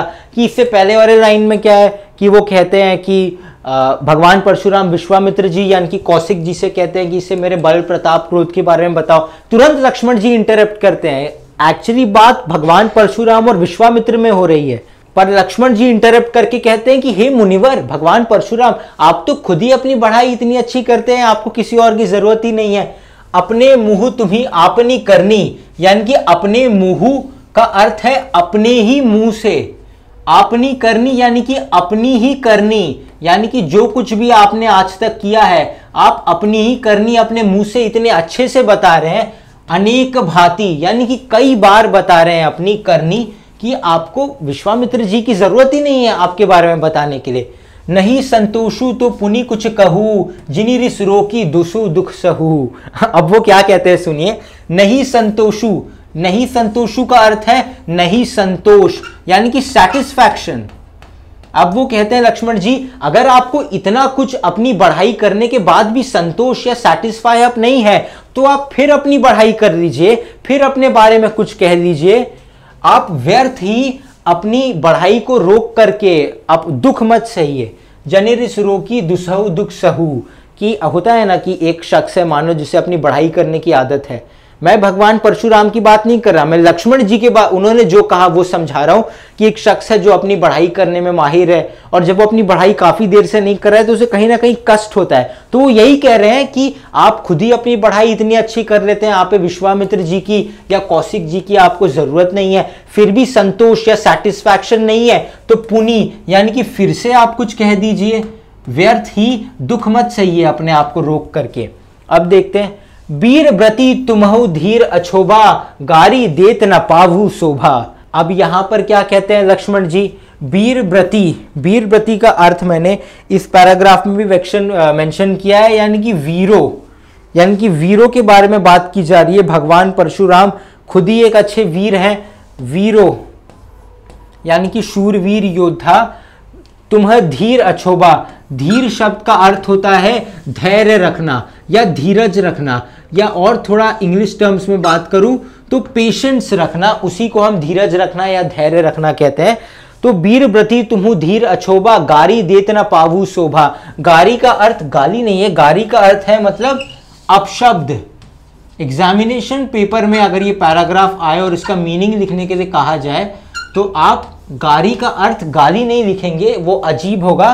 अपशब्द लिखेंगे एक्चुअली इसका अर्थ यही है, गाली जो शब्द है वो आज के मॉडर्न टर्मिनोलॉजीज में यूज़ की जाती है। अभी देखते हैं कि वीर को धीरज जो है वो शोभा देता है।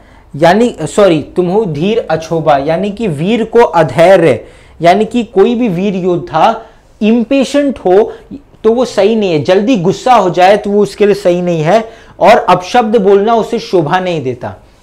सूर समर करनी कर ही कही, ना जान वही आपू। सूर समर करनी कर ही कही, ना जान वही आपू। जो वीर होते हैं, वे व्यर्थ में अपनी बढ़ाई नहीं करते, बल्कि अपनी करनी से अपनी वीरता को सिद्ध करते हैं। ये वो कहना चाहते हैं। भगवान लक्ष्मण जी, इस पूरी लाइन में आगे क्या कहते हैं? विद्यमान रन पाई रिपु कायर कथ ही प्रतापु। यानी कि सूर समर करनी करही, कहीं ना जान वही आपू। यानी कि जो भी सूर समर सूर समर का अर्थ है जो भी वीर योद्धा होते हैं, वो अपनी करनी कहीं नहीं। कहीं ना का मतलब कहीं नहीं। जो भी वीर योद्धा है, वो अपनी करनी कहते नहीं है, जनाते नहीं है लोगों को आपकी तरह। विद्यमान रही पा विद्य विद्यमान रन पाई रिपु कायर कथही प्रतापु, यानी कि सूर समीर जो भी वीर योद्धा है, वो अपनी करनी कहीं ना, यानी कि कहते नहीं है लोगों से आपकी तरह, बल्कि वो जो है, युद्ध में अपने शत्रु के सामने जाते हैं और युद्ध करते हैं। पर जो कायर होते हैं, वो रण रण का अर्थ है रण। रण का अर्थ मतलब रणभूमि, जहाँ पे लड़ाई होती है। वो क्या कहते हैं, लक्ष्मण जी लास्ट के दो लाइन में जो वीर होते हैं, वो अपनी कथनी मतलब अपना गुणगान नहीं करते हैं, वो अपनी करनी में विश्वास रखते हैं। और जो कायर होते हैं, वो रण में जाकर के, रणभूमि में जाकर के शत्रु के सामने अपना गुणगान करते हैं। मतलब ये अब भगवान परशुराम को डायरेक्टली टारगेट करके बोल रहे हैं वो। कतई प्रतापू, यानी कि अपने प्रताप के बारे में या अपना गुणगान करते हैं, अरे मैं इतना महान योद्धा हूँ, ये वो, ये कायर करते हैं, ऐसा लक्ष्मण जी कह रहे हैं, अब आगे देखते हैं। तो अब हम राम लक्ष्मण परशुराम संवाद के लास्ट के दो और सबसे इंपॉर्टेंट पैराग्राफ्स को समझने जाएँगे। अब देखते हैं इस पैराग्राफ का मतलब क्या है।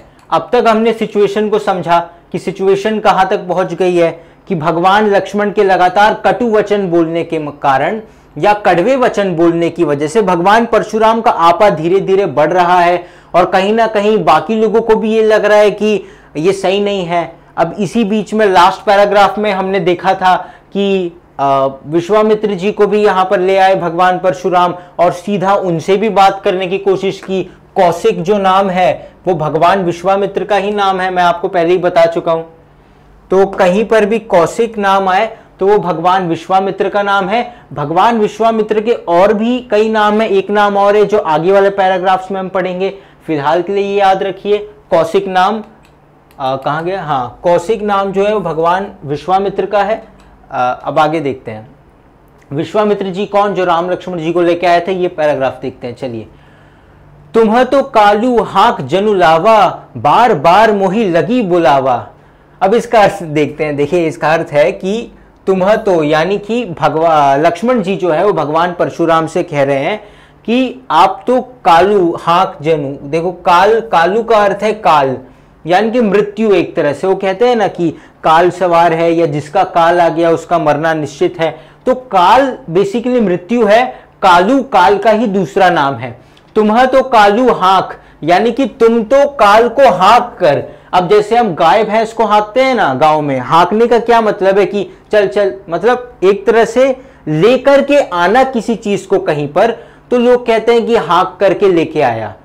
तो अब ये कह रहे हैं भगवान लक्ष्मण जी जो है, वो कह रहे हैं परशुराम जी से कि आप तो काल को हाँक कर मेरे पास लेकर के आ रहे हैं। बार बार मोही लगी बुलावा। इस पूरे सेंटेंस को बहुत सारे बच्चे जो गलती करते हैं कि वो तोड़ तोड़ करके देखते हैं। अगर आप सेंटेंस को तोड़ तोड़ करके देखेंगे और लिटरल ट्रांसलेशन करेंगे तो आप कभी इसे डिकोड नहीं कर पाएँगे।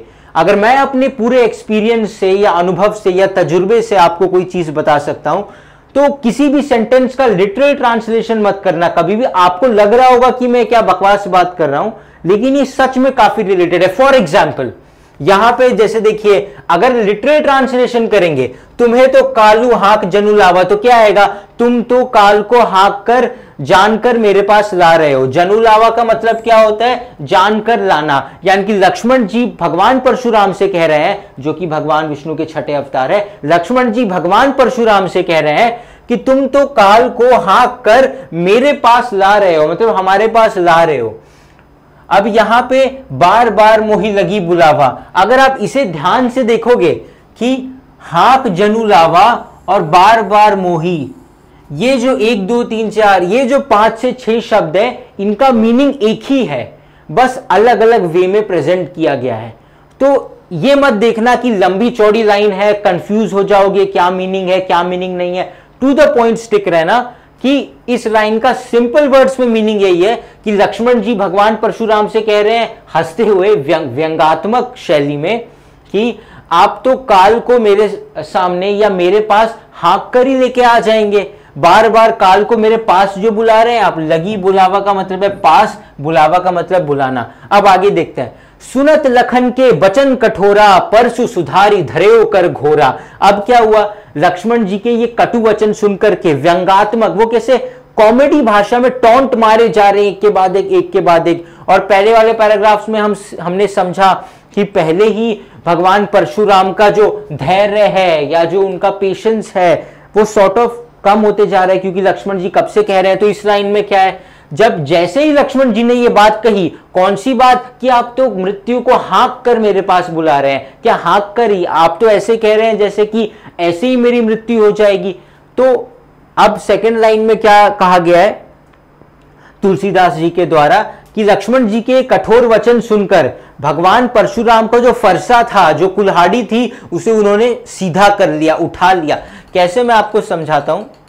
देखिए, ये जो उनका फरसा है, अगर इसका ये सट, यानी कि प्लेन या फिर स्ट्रेट वाला हिस्सा शार्प हिस्सा सामने की तरफ़ है तो मतलब वो नॉर्मल पोस्चर है। लेकिन अगर उसी को उन्होंने नीचे कर दिया तो मतलब कि उसको कहते हैं परसा उठा देना। फॉर एग्ज़ाम्पल धनुष ऐसे पकड़ा है। धनुष को अगर ऐसे कर दिया गया, ये धनुष की डोरी है, धनुष को ऐसे कर दिया गया तो आपने धनुष उठाया। ऐसा कब करते हैं? जब युद्ध होने वाला है। तो उसी तरह भगवान परशुराम मानो अब युद्ध कर ही देंगे लक्ष्मण जी से, क्योंकि उन्होंने उनका इतना अपमान कर दिया, उन्होंने अपने फरसे को सीधा करके उठा दिया, ऐसे। अब देखते हैं आगे क्या हुआ। हाँ ये लाइन का मीनिंग मैं फिर से बता दूँ। सुरत लखन के वचन कठोरा। कठोरा का अर्थ है कड़वे वचन। एक सेकंड हाँ। हाँ कठोरा का अर्थ है कड़वे वचन। उनके कड़वे वचन सुनकर के, किनके लक्ष्मण जी के, उन्होंने परसु सुधारे, घरे कर धरे कर धोरा, अपने फरसे को सीधा कर दिया। घोरा यानी कि उनका घोर घोर शब्द का मतलब क्या होता है? इंटेंस उनका घोर है वो, कोई मामूली कुल्हाड़ी नहीं है वो। वो भगवान शिव के द्वारा दी गई कुल्हाड़ी है, उन्होंने सीधा कर दिया। क्या सीधा कर दिया? उनका घोरा, यानी कि घोर, परसा, उनकी कुल्हाड़ी। आगे देखते हैं। अब जनी देव दोसु मोही लोगु, कटुबादी बालकु बधजोगु अब क्या है कि अब जनी देव दोसु मोही लोगु। अब भगवान परशुराम ने क्या किया? अपना परसा सीधा कर लिया गुस्से में। अब जैसे मानो युद्ध करने वाले लक्ष्मण जी से। और क्या कहा उन्होंने? कि अब जनी, यानी कि यहाँ उपस्थित सभी जन, कि जो कोई भी यहाँ पर है, अब मुझे दोष मत देना, क्योंकि अब ये बालक मृत्यु के योग्य है या वध करने के योग्य है। अब मैं इसको मार दूँ, ये मरने के योग्य है, लायक है, ऐसा वो कह रहे हैं। इस लाइन में, कटुबादी बालकू बदजोगु। कटुबादी का अर्थ है नंबर वन दिया है, जो भी वर्ड मैंने अंडरलाइन किया, उसके ऊपर वाले नंबर को आपको देखना है। नंबर वन का अर्थ क्या है? कड़वे वचन बोलने वाला। बदजोगु का अर्थ क्या है? वध के योग्य के मरने के योग्य। आगे देखते हैं। बाल बिलो की बहुत में बाचा, अब येहू मर निहार भाषाचा कि अब परशुराम जी कहते हैं कि इसे बालक समझ करके, बाल बिलोकी नंबर थ्री बिलोकी का अर्थ होता है समझ करके, बालक जान करके, समझ करके, बहुत मैं बाचा, मैंने इसे बहुत बचाया। ये कब से मेरा अपमान कर रहा है? मैंने इसे बहुत बचाया। अब ये हूँ मर निहार भा साचा। अब ये मर निहार का अर्थ है मरने योग्य। साचा मतलब सचमुच। कि अब ये बालक सचमुच मरने योग्य है। तो पूरे लाइन का क्या या पूरे सेंटेंस का क्या मीनिंग है? बाल बिलो की बहुत मैं बाचा, अब ये हूँ मर निहार भाषाचा यानी कि बालक समझ करके मैंने इसे बहुत बचाया, अब ये बालक सच में मरने के योग्य है या मरने के लायक है? कौशिक कहा, छमी अपराधु, बाल दोष गुण गण ही न साधु। कौशिक का मैंने आपको पहले ही बताया था, विश्वामित्र जी का ही नाम कौशिक है। अब यहाँ पे विश्वामित्र जी से कोई कुछ नहीं कह रहा है। विश्वामित्र जी खुद कुछ कह रहे हैं। अब क्या कह रहे हैं? अब जब सिचुएशन इस कदर आगे बढ़ गई कि परशुराम जी ने अपनी कुल्हाड़ी सीधी कर ली और कह दिया अब कोई मुझे दोष मत देना, अब ये मृत्यु के योग्य है और वो प्रहार बस करने ही वाले हैं और लक्ष्मण जी भी तैयार है अपने धनुष के साथ। तो अब इस बीच में कौशिक यानी कि विश्वामित्र जी एक इंपॉर्टेंट बात मैं आपको बता दूँ कि विश्वामित्र जी और भगवान परशुराम, मैं नहीं जानता आपके हिंदी टीचर ने आपको बताया कि नहीं, पर ये दोनों भाई हैं। विश्वामित्र जी और परशुराम जी की माता एक नहीं है, पर इन दोनों के पिता एक ही है और इसलिए ये दोनों जो है, ये भाई हैं और शायद इसीलिए भगवान परशुराम इतनी देर से अपने गुस्से को रोके हुए थे, क्योंकि उनका अपना भाई उनके सामने खड़ा है। जो एक ब्राह्मण है और वही राम और लक्ष्मण जी को लेके आए हैं माता जानकी के या माता सीता के दोनों एक ही है माता सीता के स्वयंवर में। अब आगे देखते हैं कौशिक कहा क्षमीय अपराधु। अब विश्वामित्र जी आगे आते हैं सामने। अब तक परशुराम जी सॉरी अब तक लक्ष्मण जी और परशुराम जी में बात हो रही है। समझ लीजिए मैं विश्वामित्र जी हूँ अब मैं आगे आ जाता हूँ और मैं क्या कहता हूँ कि आ, इस अपराधी को क्षमिया क्षमिया का अर्थ है क्षमा कर दो। नंबर सिक्स मैंने लिखा है। क्षमा कर दो। बाल दोषु गुण गण ही न साधु। अब वो कहते हैं कि कोई भी साधु या संत बालक के दोष, यानी कि बालक की गलतियाँ या बालक के गुण, या बालक के गुण नहीं गिनता है। गण ही का मतलब क्या होता है? गण ही शब्द का अर्थ होता है गिनना। मैं यहाँ लिख देता हूँ। गण ही शब्द का अर्थ होता है, छोटी ई की मात्रा आएगी, याद रखिएगा। गिनना। डिजिटल बोर्ड है छोड़ तो थोड़ी मेरी राइटिंग खराब है, लेकिन इसका अर्थ होता है गिनना। तो अब इस लाइन में क्या है कि अब विश्वामित्र जी आगे आ जाते हैं, परशुराम जी के सामने, और कहते हैं कि इस बालक को क्षमा कर दीजिए, इसके अपराधु, इसके अपराध को क्षमा कर दीजिए। कोई भी साधु, बाल दोष, गुण गणही न साधु की जो साधु है, जो संत महात्मा ब्राह्मण है, वो कभी भी किसी बालक के दोष, उनकी गलतियाँ या उनके गुणों पे ध्यान नहीं देता है इतना, क्योंकि बाल बुद्धि है, वो बालक है अभी। अब आगे देखते हैं। खर कुठार में अकुरन को ही, नहीं, माफ़ कीजिएगा। खर खर कुठार में अकरुण को ही, आगे अपराधी गुरुद्रोही। खर कुठार में अकुरन अक, अकरुण को ही माफ़ कीजिएगा अकरुण को ही का मतलब है अकारण क्रोध। कोही का मैंने आपको पहले वाले स्लाइड्स में भी बताया था पहले भी कोही शब्द का यूज़ हो चुका है पोयम में। तुलसीदास जी के द्वारा उन्हीं ने पोयम लिखी है। कोही शब्द का अर्थ होता है क्रोधी गुस्सा आने वाला। अकुरुन अकुरुन का या अकुरन का अर्थ होता है अकारण। अब इसे ध्यान से समझिए। खर कुठार में अक, को ही खर कुठार में अकरुण को ही आगे अपराधी गुरुद्रोही। यानी कि मैंने व्यर्थ में, मैं अकारण ही को ही नहीं कर रहा, यानी कि मैं अकारण ही क्रोध नहीं कर रहा। मैंने अकारण ही या बिना किसी कारण के अपने कुठार को सीधा नहीं कर लिया, अपनी कुल्हाड़ी को उठा नहीं लिया है। आगे जो अपराधी है, वो मेरे गुरु का द्रोही है। गुरुद्रोही हम किसे कहते हैं? गुरु की, गुरु का जो अपमान करे, वो गुरुद्रोही है। तो भगवान परशुराम जी के गुरु जो है, वो देवों के देव महादेव हैं। ठीक है? और देवों के देव महादेव, यानी कि शिवजी, यानी कि शिवजी के धनुष को, भगवान परशुराम जी के गुरु के धनुष को जिन्होंने तोड़ा है, भगवान परशुराम को अभी तक क्लियरली नहीं पता कि धनुष किसने तोड़ा है। और उन्हें अब जब पता चल गया है कि राम जी ने तोड़ा है, और लक्ष्मण जी उनसे एक तरह से जबान लड़ा रहे हैं तो वो उनके लिए गुरुद्रोही है। क्यों? क्योंकि उनके जो गुरु है शिव जी, जिन्होंने उन्हें वो कुल्हाड़ी दी है, जिसका वार कभी खाली नहीं जाता, उनका अपमान है ये एक तरह से कि एक तो उनका धनुष तोड़ा गया और ऊपर से उनके साथ, यानी कि भगवान परशुराम के साथ दुर्व्यवहार हो रहा है। तो गुरुद्रोही गुरुद्रोही यानी कि आप कंफ्यूज ना हो भगवान परशुराम जी के गुरु है शिव जी खर कुठार में अक्रुन को ही आगे अपराधी गुरुदोही की मैंने व्यर्थ में ही अपना फरसा सीधा नहीं किया है। मैं अकारण को ही या क्रोध या गुस्सा नहीं कर रहा हूँ। आगे जो ये जो अपराधी खड़ा है लक्ष्मण जी की ओर वो पॉइंट करके बोलते हैं, ये मेरे गुरु का शत्रु है, गुरु का द्रोही है। उत्तर देत छोड़ो बिनु मारे, केवल कौशिक सील तुम्हारे। अब क्या कहते हैं परशुराम जी, उत्तर देत कि मैं इसे उत्तर देकर बिना मार के, बिना मारे छोड़ रहा हूँ, ठीक है? केवल कौशिक सील तुम्हारे, कौशिक का हम जानते हैं विश्वामित्र जी। सील यानी कि आपके संतोष, आपकी विनम्रता। जो विश्वामित्र जी है, हालाँकि ये एक फैक्ट है कि उनका जन्म एक क्षत्रिय परिवार में हुआ था, पर फिर भी वो एक ब्राह्मण है।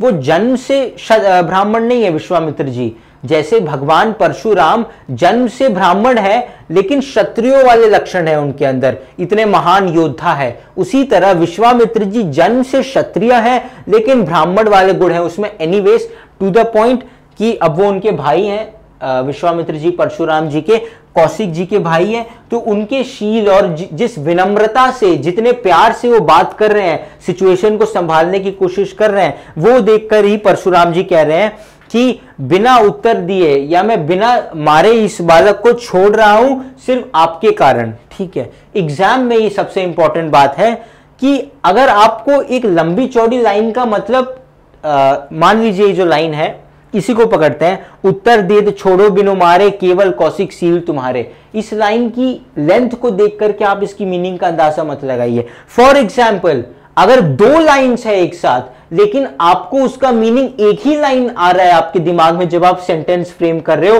तो आप वो एक ही लाइन लिखिए, वो डेफिनेटली सही होगा। अब एग्ज़ाम में आंसर किस तरह से लिखना है, वो भी इंपॉर्टेंट है, लेकिन जो चेकर है, मैंने भी पेपर्स चेक किए हैं, वो ये नहीं देखता कभी कि बच्चे ने कितना बड़ा आंसर लिखा है। अगर आपने दो लाइंस का मीनिंग एक ही लाइन में लिखा है और वो टू द पॉइंट है तो आपको मार्क्स ज़रूर मिलेंगे। तो ये जो इतनी बड़ी लाइन है, उत्तर देते छोड़ो बिनु मारे, केवल कौशिक सील तुम्हारे, इसका मतलब सिर्फ़ इतना ही है कि बिना उत्तर दिए, बिना मारे मैं इस बालक को छोड़ रहा हूँ, केवल विश्वामित्र जी आपके विनम्रता के कारण। आगे देखते हैं। ना तो यही काटी कुठार कठोरे, गुरु गुर ही उरिन होते श्रम थोरे। अभी यहाँ परशुराम जी क्या कह रहे हैं? कि मैंने विश्वामित्र जी या कौशिक आपकी विनम्रता, आपकी शील के कारण इसे अब तक नहीं मारा है। नहीं तो ना तो यही नाता का अर्थ है नहीं तो यही का मतलब यही काटी कुठार कठोरे कि मैं अपने फरसे से, अपने कुठार से इस बालक को यही काट देता। और इसको काटने के बाद अपने गुरु ऋण से बहुत ही आसानी से मैं, या बहुत श्रम, बहुत कम श्रम, यानी कि बहुत थोड़ी मेहनत कर, करके मुक्त हो जाता। अब आप सोचेंगे, गुरु ऋण कहाँ से आया? देखिए, इससे पहले इससे पहले की पहली की लाइन में विश्वामित्र जी लक्ष्मण जी को अपने गुरु का द्रोही, अपना गुरुद्रोही मानते हैं, क्योंकि शिव शिव धनुष जो है वो उनके बड़े भाई ने, लक्ष्मण जी के बड़े भाई ने तोड़ा है और ऊपर से लक्ष्मण जी उन्हीं से जबान लड़ा रहे हैं। तो एक तरह से वो उनके गुरु के द्रोही है। गुरु ऋण क्या होता है? फॉर एग्ज़ाम्पल अगर मेरे गुरु है कोई और कोई उनका अपमान कर रहा है तो एक तरह से ये मेरी ज़िम्मेदारी है कि मैं उस अपमान करने वाले को रोकूं और अगर मैं ऐसा नहीं करता तो एक तरह से ये मेरे गुरु का ऋण आ जाता है मेरे ऊपर। तो गुरु ऋण को उतारना ज़रूरी होता है। इसी तरह से, इसी सिचुएशन को एक और तरीके से देखिए कि हर गुरु को अपने शिष्य के ऊपर ऋण होता है। यानी कि गुरु का शिष्य के ऊपर एक तरह से आप कह सकते हैं कि अपर हैंड होता है। और ये शिष्य का कर्तव्य है कि जैसे गुरु दक्षिणा दी जाती है, वो गुरु का ऋण चुकाए। तो अपने गुरु का ऋण वो चुका देंगे गुरुद्रोही को मार करके। गुरु का ऋण आप कई तरीकों से शास्त्रों के अनुसार चुका सकते हैं। एक तरीका यह होता है कि गुरु का ऋण आप गुरु दक्षिणा देके चुका सकते हैं, या जो गुरुद्रोही है, जो आपके गुरु का अपमान कर रहा है उसका वध करके या उसे समझाकर आप गुरु का ऋण चुका सकते हैं, या गुरु से जो भी आपने शिक्षा ली है उससे कुछ अच्छा कर, करके आप गुरु का ऋण चुका सकते हैं। तो ये तीन तरीके हैं शास्त्रों के अनुसार गुरु का ऋण चुकाने के। भगवान परशुराम ने भगवान शिव को कोई गुरु दक्षिणा नहीं दी थी इसीलिए वो अपना गुरु ऋण चुका देंगे गुरुद्रोही को मार करके जो कि उनके हिसाब से लक्ष्मण जी है। अब आगे देखते हैं। तो इस लाइन में वो क्या कह रहे हैं कि केवल विश्वामित्र जी कौशिक तुम्हारे विनम्रता के कारण मैंने इसे छोड़ा है नहीं तो अभी अपने फरसे से काट कर मैं इसे अपने गुरु ऋण से मुक्त हो जाता। श्रम थोड़े, यानी कि थोड़े को हिंदी से रिलेट कीजिए, थोड़े, कि बहुत थोड़ी सी मेहनत में, कि मतलब मैं इस बालक को आसानी से मारकर गुरु ऋण से मुक्त हो जाता। आगे देखते हैं। गाधी सुनु कह, हृदय हसी मुनही हरियरे सूज अयमय खांड ना उखमय, अजहू ना बूझ अबूझ। अब देखिए इसका मतलब क्या अब विश्वामित्र जी सामने से कह नहीं रहे हैं, वो अपने मन में सोच रहे हैं। गाधी सुनू अब यहाँ पे आपको गाधी को टारगेट करना है। गाधी जो है, वो विश्वामित्र जी का ही दूसरा नाम है। कंफ्यूज नहीं होना है। परशुराम जी के भी कई नाम है। परशुराम जी को परशुराम कहा गया है। पोयम में साधु या मुनि कहा गया है। भृगुवंशी कहा गया है। उसी तरह विश्वामित्र जी को विश्वामित्र नाम से तो नहीं कहा गया है, पर कौशिक नाम से संबोधित किया गया है। और एक नाम जो वह है, उनका गाधी।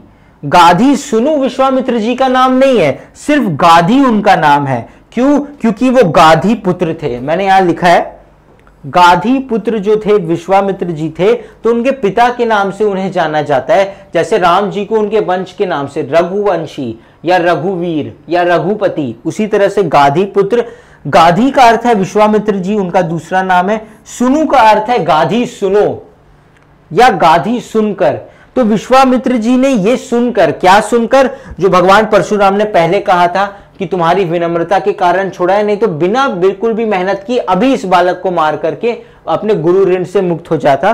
तो ये सब सुन करके गाधी, यानी कि विश्वामित्र जी अपने हृदय में, यानी कि मन ही मन हंसने लगे कि मुनही हरियर सूज की, जो मुनि है, उन्हें सब हरा भरा ही दिख रहा है। अब हरा भरा का क्या मतलब? कि सब कुछ आसान दिख रहा है। केक वॉक की तरह दिख रहा है, सब कुछ आसान दिख रहा है कि अब इन दो लाइंस का मतलब यह है कि विश्वामित्र जी ये सोच रहे हैं कि परशुराम जी राम और लक्ष्मण जी को काफ़ी हल्के में ले रहे हैं, जबकि विश्वामित्र जी ने ही उन्हें शिक्षण दिया है, राम जी को और लक्ष्मण जी को। तो वो जानते हैं कि ये दोनों बहुत पारंगत योद्धा हैं, और यहाँ आने से पूर्व राम जी ने ताड़का नाम की असुर का भी वध कर दिया है। तो विश्वामित्र जी, इन शॉर्ट अपने दिमाग में ये कह रहे हैं कि परशुराम जी इन्हें, जिन्हें साधारण बालक समझ रहे हैं, ये वास्तव में बहुत अच्छे योद्धा हैं, और वो तो थे ही राम जी और लक्ष्मण जी भी।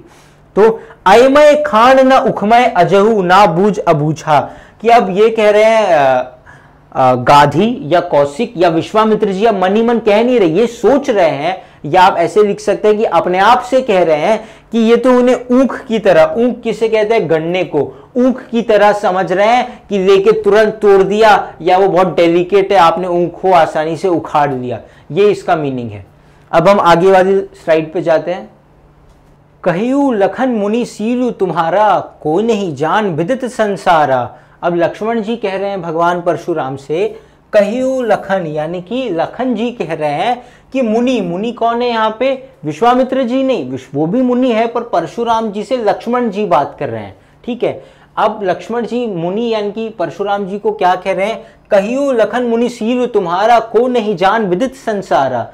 कि हे मुनिवर, आपके सील को, सील यानी कि विनम्रता को, आपकी शक्ति को तो समग्र संसार जानता है। विदित संसारा का अर्थ होता है सारा संसार। कि, आपके शील से, आपकी विनम्रता से, आपके सामर्थ्य से तो पूरा संसार परिचित है। अब आगे देखते हैं। माता पिता ही उरिन भई नीके, गुरु रिनु रहा सोचू बड़ जी के कि माता पिता ही उरिन भई नीके कि अब लक्ष्मण जी कह रहे हैं परशुराम जी से कि आप अपने माता पिता के ऋण से तो मुक्त हो चुके हैं। अब सिर्फ़ गुरु ऋण ही बचा रह गया है ना। गुरु ऋण रहा सोचू बड़ी जी के कि इसी का यही अर्थ है कि जैसा मैंने आपको बताया था पहले वाली स्लाइड में कि गुरु ऋण जैसा होता है, गुरु ऋण होता है हर किसी के ऊपर, अपने गुरु का। उसी तरह से शास्त्रों के अनुसार माता पिता का भी ऋण होता है क्योंकि वो हमारा पालन पोषण करके हमें बड़ा करते हैं। तो to the point Lakshman ji पहले तो ये कहते हैं कि आपके शील से, सामर्थ्य से, आपकी विनम्रता से तो हम सब परिचित है, सारा संसार परिचित है। और आप अपने माता पिता के ऋण से तो मुक्त हो चुके हैं, सिर्फ़ एक गुरु ऋण ही बच गया है ना? सो जनु हमरे ही माथे काढ़ा। सो जनहु, यानी कि सो आपने इसे मेरे ही माथे पर काट दिया, मेरे ही माथे पर चढ़ा दिया। दिन चली गए, ब्याज पर बाढ़ा। तो मतलब अब लक्ष्मण जी ये कह रहे हैं कि जैसे कर्जा होता है फॉर एग्ज़ाम्पल कि आ, मैंने किसी को कर्जा दिया और उसने कई साल तक मुझे वापस नहीं दिया तो साल भर साल महीने दर महीने वो ब्याज जो है वो बढ़ता रहता है। तो लक्ष्मण जी कह रहे हैं कि आपने माता पिता का ऋण तो चुका दिया गुरु ऋण जो है वो आपने बहुत समय से नहीं चुकाया था तो मेरे सर पर वो डाल दिया। तो एक काम कीजिए आपने गुरु ऋण बहुत समय से नहीं चुकाया तो उसका ब्याज बढ़ गया होगा। तो कितना ब्याज है वो बता दीजिए। मतलब अभी तो यही कह रहे हैं कि दिन चली गए, ब्याज बढ़ बाढ़ा। दिन चली गए कि दिन चले गए, यानी कि यहाँ एक दिन की बात नहीं हो रही है। दिन मतलब बहुत दिन बीत गए तो ब्याज बढ़ गया होगा। आपके जो गुरु का ऋण है आपके ऊपर उसका। अब अब आनीय व्यवहिरा, एक सेकेंड हाँ। अब आनीय व्यवहरिया बोली, तुरंत देव में थैली खोली। व्यवहरिया, व्यव इसे ध्यान से समझिए, आधा बय व्यवहरिया व्यवहरिया किसे कहते हैं? एक तरह से मैथमेटिशियन का ये दूसरा टर्म है मतलब जो हिसाब किताब करते हैं बेसिकली व्यवहरिया या व्यव एक्चुअली ये व है, पर हिंदी में आधा ब, ये और पूरा ब व्यव कहा जाता है। व्यव हम किसे कहते हैं? जो राजाओं की ट्रेजरी देखते हैं अकाउंट्स डिपार्टमेंट देखते हैं। तो एक तरह से वो कह रहे हैं कि आप किसी हिसाब किताब वाले को बुलाइए जो मतलब जोड़ के बताया ना कि ब्याज तो बढ़ गया है ना, दिन चली गए, बहुत दिन बीत गए, ब्याज बढ़ बाढ़ा। बढ़ बाढ़ा मतलब बहुत बढ़ गया, ब्याज बहुत बढ़ गया होगा। तो आप एक हिसाब किताब वाले को बुलाइए, जितना हिसाब होगा, तुरंत देव में थैली खोली। जितना हिसाब होगा, मैं अपनी थैली या अपना अपना बटुआ या अपनी पोटली खोल के दे दूँगा। तो देखिए, उन्होंने कितना व्यंगात्मक रचने से वो व्यंगात्मक तरीके से वो बार बार भगवान परशुराम को जो है लखेद रहे हैं। सुनी कटु बचन कुठार सुधारा हाय हाय सब सभा पुकारा। सुनी कटु बचन यानी कि कड़वे वचन को सुन करके किनके कड़वे वचन? लक्ष्मण जी के कड़वे वचन को सुन करके भगवान परशुराम ने गुस्से में अपना फरसा जो है फिर से सीधा कर दिया। ये दूसरी बार है। फिर से सीधा कर दिया और उठा लिया। मानो अब वो प्रहार करेंगे। हाँ, हाँ कटु सुधारा हाय हाय सब सभा पुकारा। पर इस बार पहली बार तो चलो सिचुएशन इंटेंस थी। इस बार लक्ष्मण जी ने जिस तरह से अपमान किया और इस बार जब उन्होंने फरसा उठा लिया भगवान परशुराम ने तो जितने भी लोग थे वो सब हाय हाय, वो सब करने लगे कि भाई अब तो कुछ ज़्यादा ही हो गया। हाय हाय, सब सभा पुकारा। भृगुबर परशु दिखा बहु मोही ब्रिप बिचारी बचो नृप द्रोही। अब लक्ष्मण जी भी क्रोध में आ जाते हैं। अब तक परशुराम जी गुस्से में बात कर रहे थे। अब लक्ष्मण जी गुस्से में आके बोलते हैं भृगुबर ये भगवान परशुराम का दूसरा नाम है। मैंने लिखा है भृगुबर यानी कि भगवान परशुराम। ये भ जो है वो भगवान का सिंबॉलिक रिप्रेजेंटेशन है। भृगुबर यानी कि भगवान परशुराम, भृगुवंशी साधु, मुनि, परशुराम, ये सब भगवान परशुराम के ही नाम है। भृगुबर परशु दिखा बहु मोही। अब लक्ष्मण जी क्रोध में आगे कह रहे हैं भगवान परशुराम से कि हे भृगुवर, हे परशुराम जी, आप बार बार अपना फरसा मुझे दिखा रहे हैं। ब्रिप बिचारी, बचो नृप द्रोही। ब्रिप का अर्थ होता है ब्रह्मचारी। यहाँ मैंने लिखा है सो सॉरी वहाँ जगह नहीं थी। ब्रिप का अर्थ होता है ब्रह्मचारी। अब लक्ष्मण जी कहते हैं कि मैं तो अब तक आपको ब्रह्मचारी समझकर छोड़ रहा था। लेकिन आप तो राजद्रोही निकले। अब ये जो लाइन है इसका जो रिलेशन है वो पहले के पैराग्राफ से भी है। आ, इसमें क्या लिखा है? ब्रिप ब्रिप बिचारी बचो यानी कि ब्रह्मचारी समझ करके। मैं आपको छोड़ रहा था यानी कि ब्राह्मण समझ करके। लेकिन आप तो नृपद्रोही या राजद्रोह राजद्रोही निकले। राजद्रोही क्यों? क्योंकि राम जी और लक्ष्मण जी रघुवंश जैसे महान साम्राज्य के राजकुमार है। तो इतने महान साम्राज्य या राज्य का अपमान करने वाला राजद्रोही होगा। तो वो अब भगवान परशुराम को राजद्रोही की उपाधि दे रहे हैं। अब आगे देखते हैं। इतना समझ में आया ना कि वो लक्ष्मण जी गुस्से में आके बोलते हैं कि आप बार बार अपना फरसा दिखा रहे हैं मुझे। मैं तो आपको ब्रह्मचारी समझकर अब तक छोड़ रहा था, पर आप तो राजद्रोही निकले। मिले न कबहू सुबटरन गाढ़े, दुज देवता घरई के बाढ़े। अब लक्ष्मण जी अभी भी गुस्से में और क्या कह रहे हैं? कि मिले ना कभू सुबट रन गाड़े सुबट शब्द का अर्थ होता है नंबर नाइन मैंने डाला है वीर। की लगता है आपको कभी आ, कहा गया हाँ रण गाढ़े रण का अर्थ यहाँ पे रण रणभूमि। मतलब युद्ध का क्षेत्र युद्ध का मैदान। कि लगता है आपको युद्ध में कभी कोई महान योद्धा कोई सुबट योद्धा कोई वीर योद्धा नहीं मिला है। द्विज देवता घरई के बाढ़े। द्विज देवता ब्राह्मण को ही कहते हैं। द्विज जो है वो, जो है वो ब्रह्मा जी का ही दूसरा नाम है। ब्राह्मण भी ब्रह्मा जी के ही अंशों को कहा जाता है। वैसे तो ब्रह्म, ब्रह्मा जी परम पिता है, हम सब में उनका एक अंश है। खैर, द्विज देवता ब्राह्मणों को कहा जाता है। द्विज देवता घरई के बाढ़े की, ब्राह्मण आप तो घर के बाहर ही नहीं निकलते हैं। कि घरई के बाढ़े यानी कि आपको घर के बाहर, घर के बाहर कहा? रण में, यानी कि रणभूमि में लगता है कभी मेरे जैसा सुभट या मेरे जैसा वीर योद्धा नहीं मिला है। अनुचित कहीं सब लोग पुकारे, रघुपति सैनी लखनऊ निवारे। कि अब इतना कुछ कह दिया लक्ष्मण जी ने, परशुराम जी को ये तो कहा ही था उन्होंने कि आप ब्याज बढ़ गया होगा, थैली खोलिए, मैं आप बुलाइए हिसाब किताब वाले को, चलिए मैं दे देता हूँ। उसके साथ उन्होंने ये भी कह दिया कि आप राजद्रोही हैं। उसके बाद उन्होंने, अब जब इतना सब कुछ हो गया और ये भी कह दिया कि आपको मेरे जैसा वीर योद्धा नहीं मिला है, कभी घर से बाहर निकलिए घर के बाहर आपको मेरे जैसा वीर योद्धा नहीं मिला है, आप घर में ही बोलने वाले लगते हैं।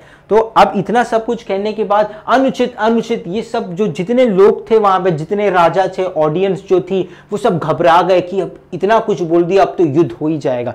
अब जब बात हाथ से कुछ ज़्यादा ही बाहर निकल गई तो रघुपति, यानी कि राम जी ने लखनऊ निवारे निवारे मतलब उन्होंने कुछ कहा नहीं क्योंकि दो दिग्गज खड़े हैं, उनके गुरु विश्वामित्र जी है, परशुराम जी है तो उनका बीच में बोलना सही नहीं है, पर उन्होंने आँखों से इशारा कर दिया उनको। किसको? लक्ष्मण जी को कि अब थोड़ा रहने दो भाई। अब आगे देखते हैं। लखन उत्तर आहुति सरिस भृगबर कोपु कृषाणु, कि जिस प्रकार हम यज्ञ में आहुति देते हैं, यज्ञ क्या होता है? आपको पता होगा, अग्नि प्रज्वलित की जाती है, आग जलाते हैं, उसमें घी की, तेल की, और जो वहाँ पे कुछ जो रखा जाता है वहाँ पे आहुति की सामग्री, उसकी आहुति देते हैं, खासकर घी और तेल के साथ। तो जब वो आहुति देते हैं तो अग्नि और प्रज्वलित हो जाती है। तो अब क्या हुआ? यहाँ पे ध्यान से समझिए, यहाँ पे एक तरह से मेटाफर यूज़ किया गया इंग्लिश का। सोचिए, इतना साल पहले भी ये पोएटिक डिवाइसेस थे। ये पोएम बहुत पुरानी है। लखन उत्तर आहुति लखन उत्तर, यानी लखन यानी कि लक्ष्मण जी उत्तर, यानी कि लक्ष्मण जी ने अभी अभी जो उत्तर दिया भगवान परशुराम को, अभी अभी जो कहा उन्होंने भगवान परशुराम से, वो सरिस, भृगुकुल कृषाणु कृषाणु क्या होता है? वो यज्ञ का मंडप जिसमें यज्ञ होता है, उसमें आहुति की तरह था। तो अब क्या हुआ? जो अग्नि है, जो यज्ञ में जल रही है, उसे आप कंपेयर कीजिए भगवान परशुराम के क्रोध से, गुस्से से। और जो आहुति उन्होंने डाली, वो आहुति क्या था, जो उन्होंने बोला इससे पहले? उन्हें राजद्रोही कहा, कह दिया, आपको मेरे जैसा सुभट वीर योद्धा कभी मिला नहीं होगा। तो वो आहुति पढ़ने से अग्नि प्रज्वलित हो गई। इस तरह से तुलसीदास जी ने पूरी सिचुएशन को डिस्क्राइब किया है। अब आगे देखते हैं बढ़त दे, लखन उत्तर आहुति सरिस भृगु, भृगुबर कोपु कृषाणु। भृगुबर कुपु यानी कि भृगुवंश के भगवान परशुराम कृषाणु यानी कि बताया मैंने, यज्ञ का जो मंडप है बेसिकली जिसमें आहुति मतलब जिसमें आग जल रही है, उसमें आहुति डाल दी, आग बढ़ गई। आहुति क्या है? जो उन्होंने कहा, मेरे जैसा वीर योद्धा आपको मिला नहीं होगा। आग क्या है? परशुराम जी का क्रोध। बढ़त देखी, जल सम वचन बोले रघुकुल भानु, कि अब सिचुएशन को बढ़ते हुए देखकर जल सम सम जो शब्द है, इसका अर्थ है समान। जल के समान या जल के जैसे वचन बोले। क्योंकि अब देखिए, यहाँ पे भी पोएटिक डिवाइस है। पहले तो उन्होंने भगवान परशुराम के क्रोध को आग सा बताया, तुलसीदास जी ने। आहुति गई आग भड़क गई तो उसे शांत करने के लिए जल सम, जैसे पानी जल को शांत कर देता है, उसी तरह जल के समान शीतल, प्यार, विनम्रता से। अब राम जी आगे आ गए, लक्ष्मण जी यहीं थे, परशुराम जी यहीं थे, राम जी आगे आ गए, हाथ जोड़ करके, और उन्होंने सिचुएशन को ओवरटेक किया। अब इसके आगे भी बहुत कॉन्वर्जेशन हुई है। ये बाल कांड का आधा हिस्सा भी नहीं है। जिन्हें नहीं पता, ये बाल कांड का हिस्सा है। मैंने पहले वाले वीडियो में बताया, इसी वीडियो में बताया। तो ये बाल कांड का ही हिस्सा है तो ये बाल कांड आधा भी नहीं हुआ है। तो लेकिन पोएम आपको यहीं तक है, गोस्वामी तुलसीदास जी की। तो मैं उम्मीद करता हूँ आपको पोएम समझ में आ गई होगी। पूरी पोएम मेजरली लक्ष्मण जी और परशुराम जी के संवाद या कॉन्वर्जेशन के बारे में है। बीच बीच में विश्वामित्र जी को लाया जाता है, शुरुआत परशुराम जी कहते हैं, कौशिक नाम से संबोधित करते हैं। विश्वामित्र जी का एक और नाम जो है, वो है हाँ गाधी गाधी, यानी कि वो गाधी जी के पुत्र थे। इसलिए विश्वामित्र जी को गाधी नाम से कहा गया है, कौशिक नाम से कहा गया है। परशुराम जी को भृगपुर कोपू, भृगुवंशी या मुनि, इन नाम से संबोधित किया गया है। राम जी को रघुकुल भानु, रघुवंशी, रघुवीर नाम से संबोधित किया गया है। तो नामों को देखकर आप कंफ्यूज मत होइएगा। ये पूरा जो पोएम है, ये थोड़ा डिफ़िकल्ट है कुछ वर्ड्स को समझना। पर काफ़ी वर्ड्स को आप रिलेट भी कर सकते हैं हिंदी से। जैसे, हाय हाय, सब सभा पुकारा। हाय हाय, सब सभा पुकारा की सब सभा पुकारने लगी। और जैसा मैंने कहा, गुरु मंत्र, या सबसे इंपॉर्टेंट चीज़ जो है, जो इस पूरी पोयम में वो ये है कि लंबे चौड़े लाइन को देखकर कभी मत समझो कि लंबा चौड़ा मीनिंग होगा।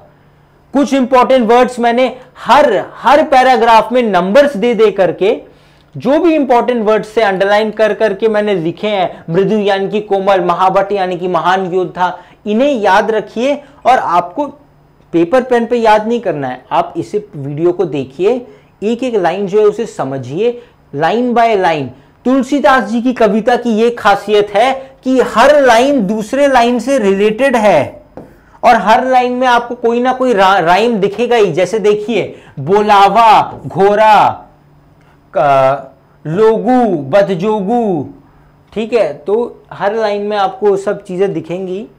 तो ये जो पोएम थी, ये राम लक्ष्मण परशुराम संवाद है। क्लास टेन सीबीएसई हिंदी के सबसे इंपॉर्टेंट पोएम्स में से एक।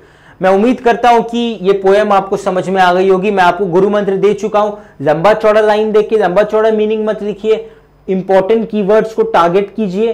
कि हाँ इस शब्द का ये मतलब है, और जो भी मीनिंग आप इंटरप्रेट कर पा रहे ईमानदारी से लिख दीजिए, घबराना बिल्कुल नहीं है। डेट्स इट और अगर कैरेक्टरिस्टिक्स पूछे जाते हैं एग्ज़ाम में कि भगवान परशुराम जी की कैरेक्टरिस्टिक्स बताओ, उनके कैरेक्टरिस्टिक्स क्या है? वो क्रोधी है, बाल ब्रह्मचारी है, अपने गुरु का बहुत सम्मान करते हैं, यह हमें कैसे पता है? वो गुरुद्रोही बोल देते हैं उसे जिन्होंने उनके गुरु, यानी कि शिव जी के धनुष को तोड़ा है। ठीक है तो ये सब उनकी कैरेक्टरिस्टिक्स है। लक्ष्मण जी की कैरेक्टरिस्टिक्स क्या क्या है या उनकी चरित्र की चारित्रिक विशेषताएँ क्या क्या है? ये एग्ज़ाम आज क्वेश्चन आ चुका है। 2011 सीबीएसई बोर्ड पेपर में। तो लक्ष्मण जी के चरित्र की विशेषता क्या है कि वो क्रोधी हैं, वो भी क्रोधी हैं, परशुराम जी भी क्रोधी हैं, वो भ्रात प्रेमी है, यानी कि वो अपने भाई से काफ़ी ज़्यादा प्यार करते हैं और उनके अपमान को सह नहीं सकते। और उन्हें उन और जो लक्ष्मण जी है वो काफ़ी वीर है। उनकी बातों से हमें ये पता चल रहा है। तो ये सारी उनकी कुछ विशेषताएँ हैं। और लक्ष्मण जी की एक और विशेषता आप क्या लिख सकते हैं? लक्ष्मण जी की आप एक विशेषता ये लिख सकते हैं कि वो आ, आ, कि वो रघुवंशी तो है ही पर वो संतोषी नहीं है। यानी कि लक्ष्मण जी जल्दी संतुष्ट नहीं होते हैं और साथ ही साथ जो लक्ष्मण जी है वो थोड़े कटु वचवादी है। यानी कि लक्ष्मण जी थोड़े कड़वे वचन बोलते हैं। राम जी की तरह नहीं, जो हमेशा विनम्र स्वभाव से रहते हैं। तो ये उनकी कुछ कैरेक्टरिस्टिक्स है। ये पोएम मैंने आपको समझा दी। छह स्टैंडास की पोएम है। मैं आशा करता हूँ आपको समझ में आई होगी। और अगर कोई भी डाउट हो तो प्लीज़ कमेंट कीजिएगा। लाइक कीजिए। Thank you very much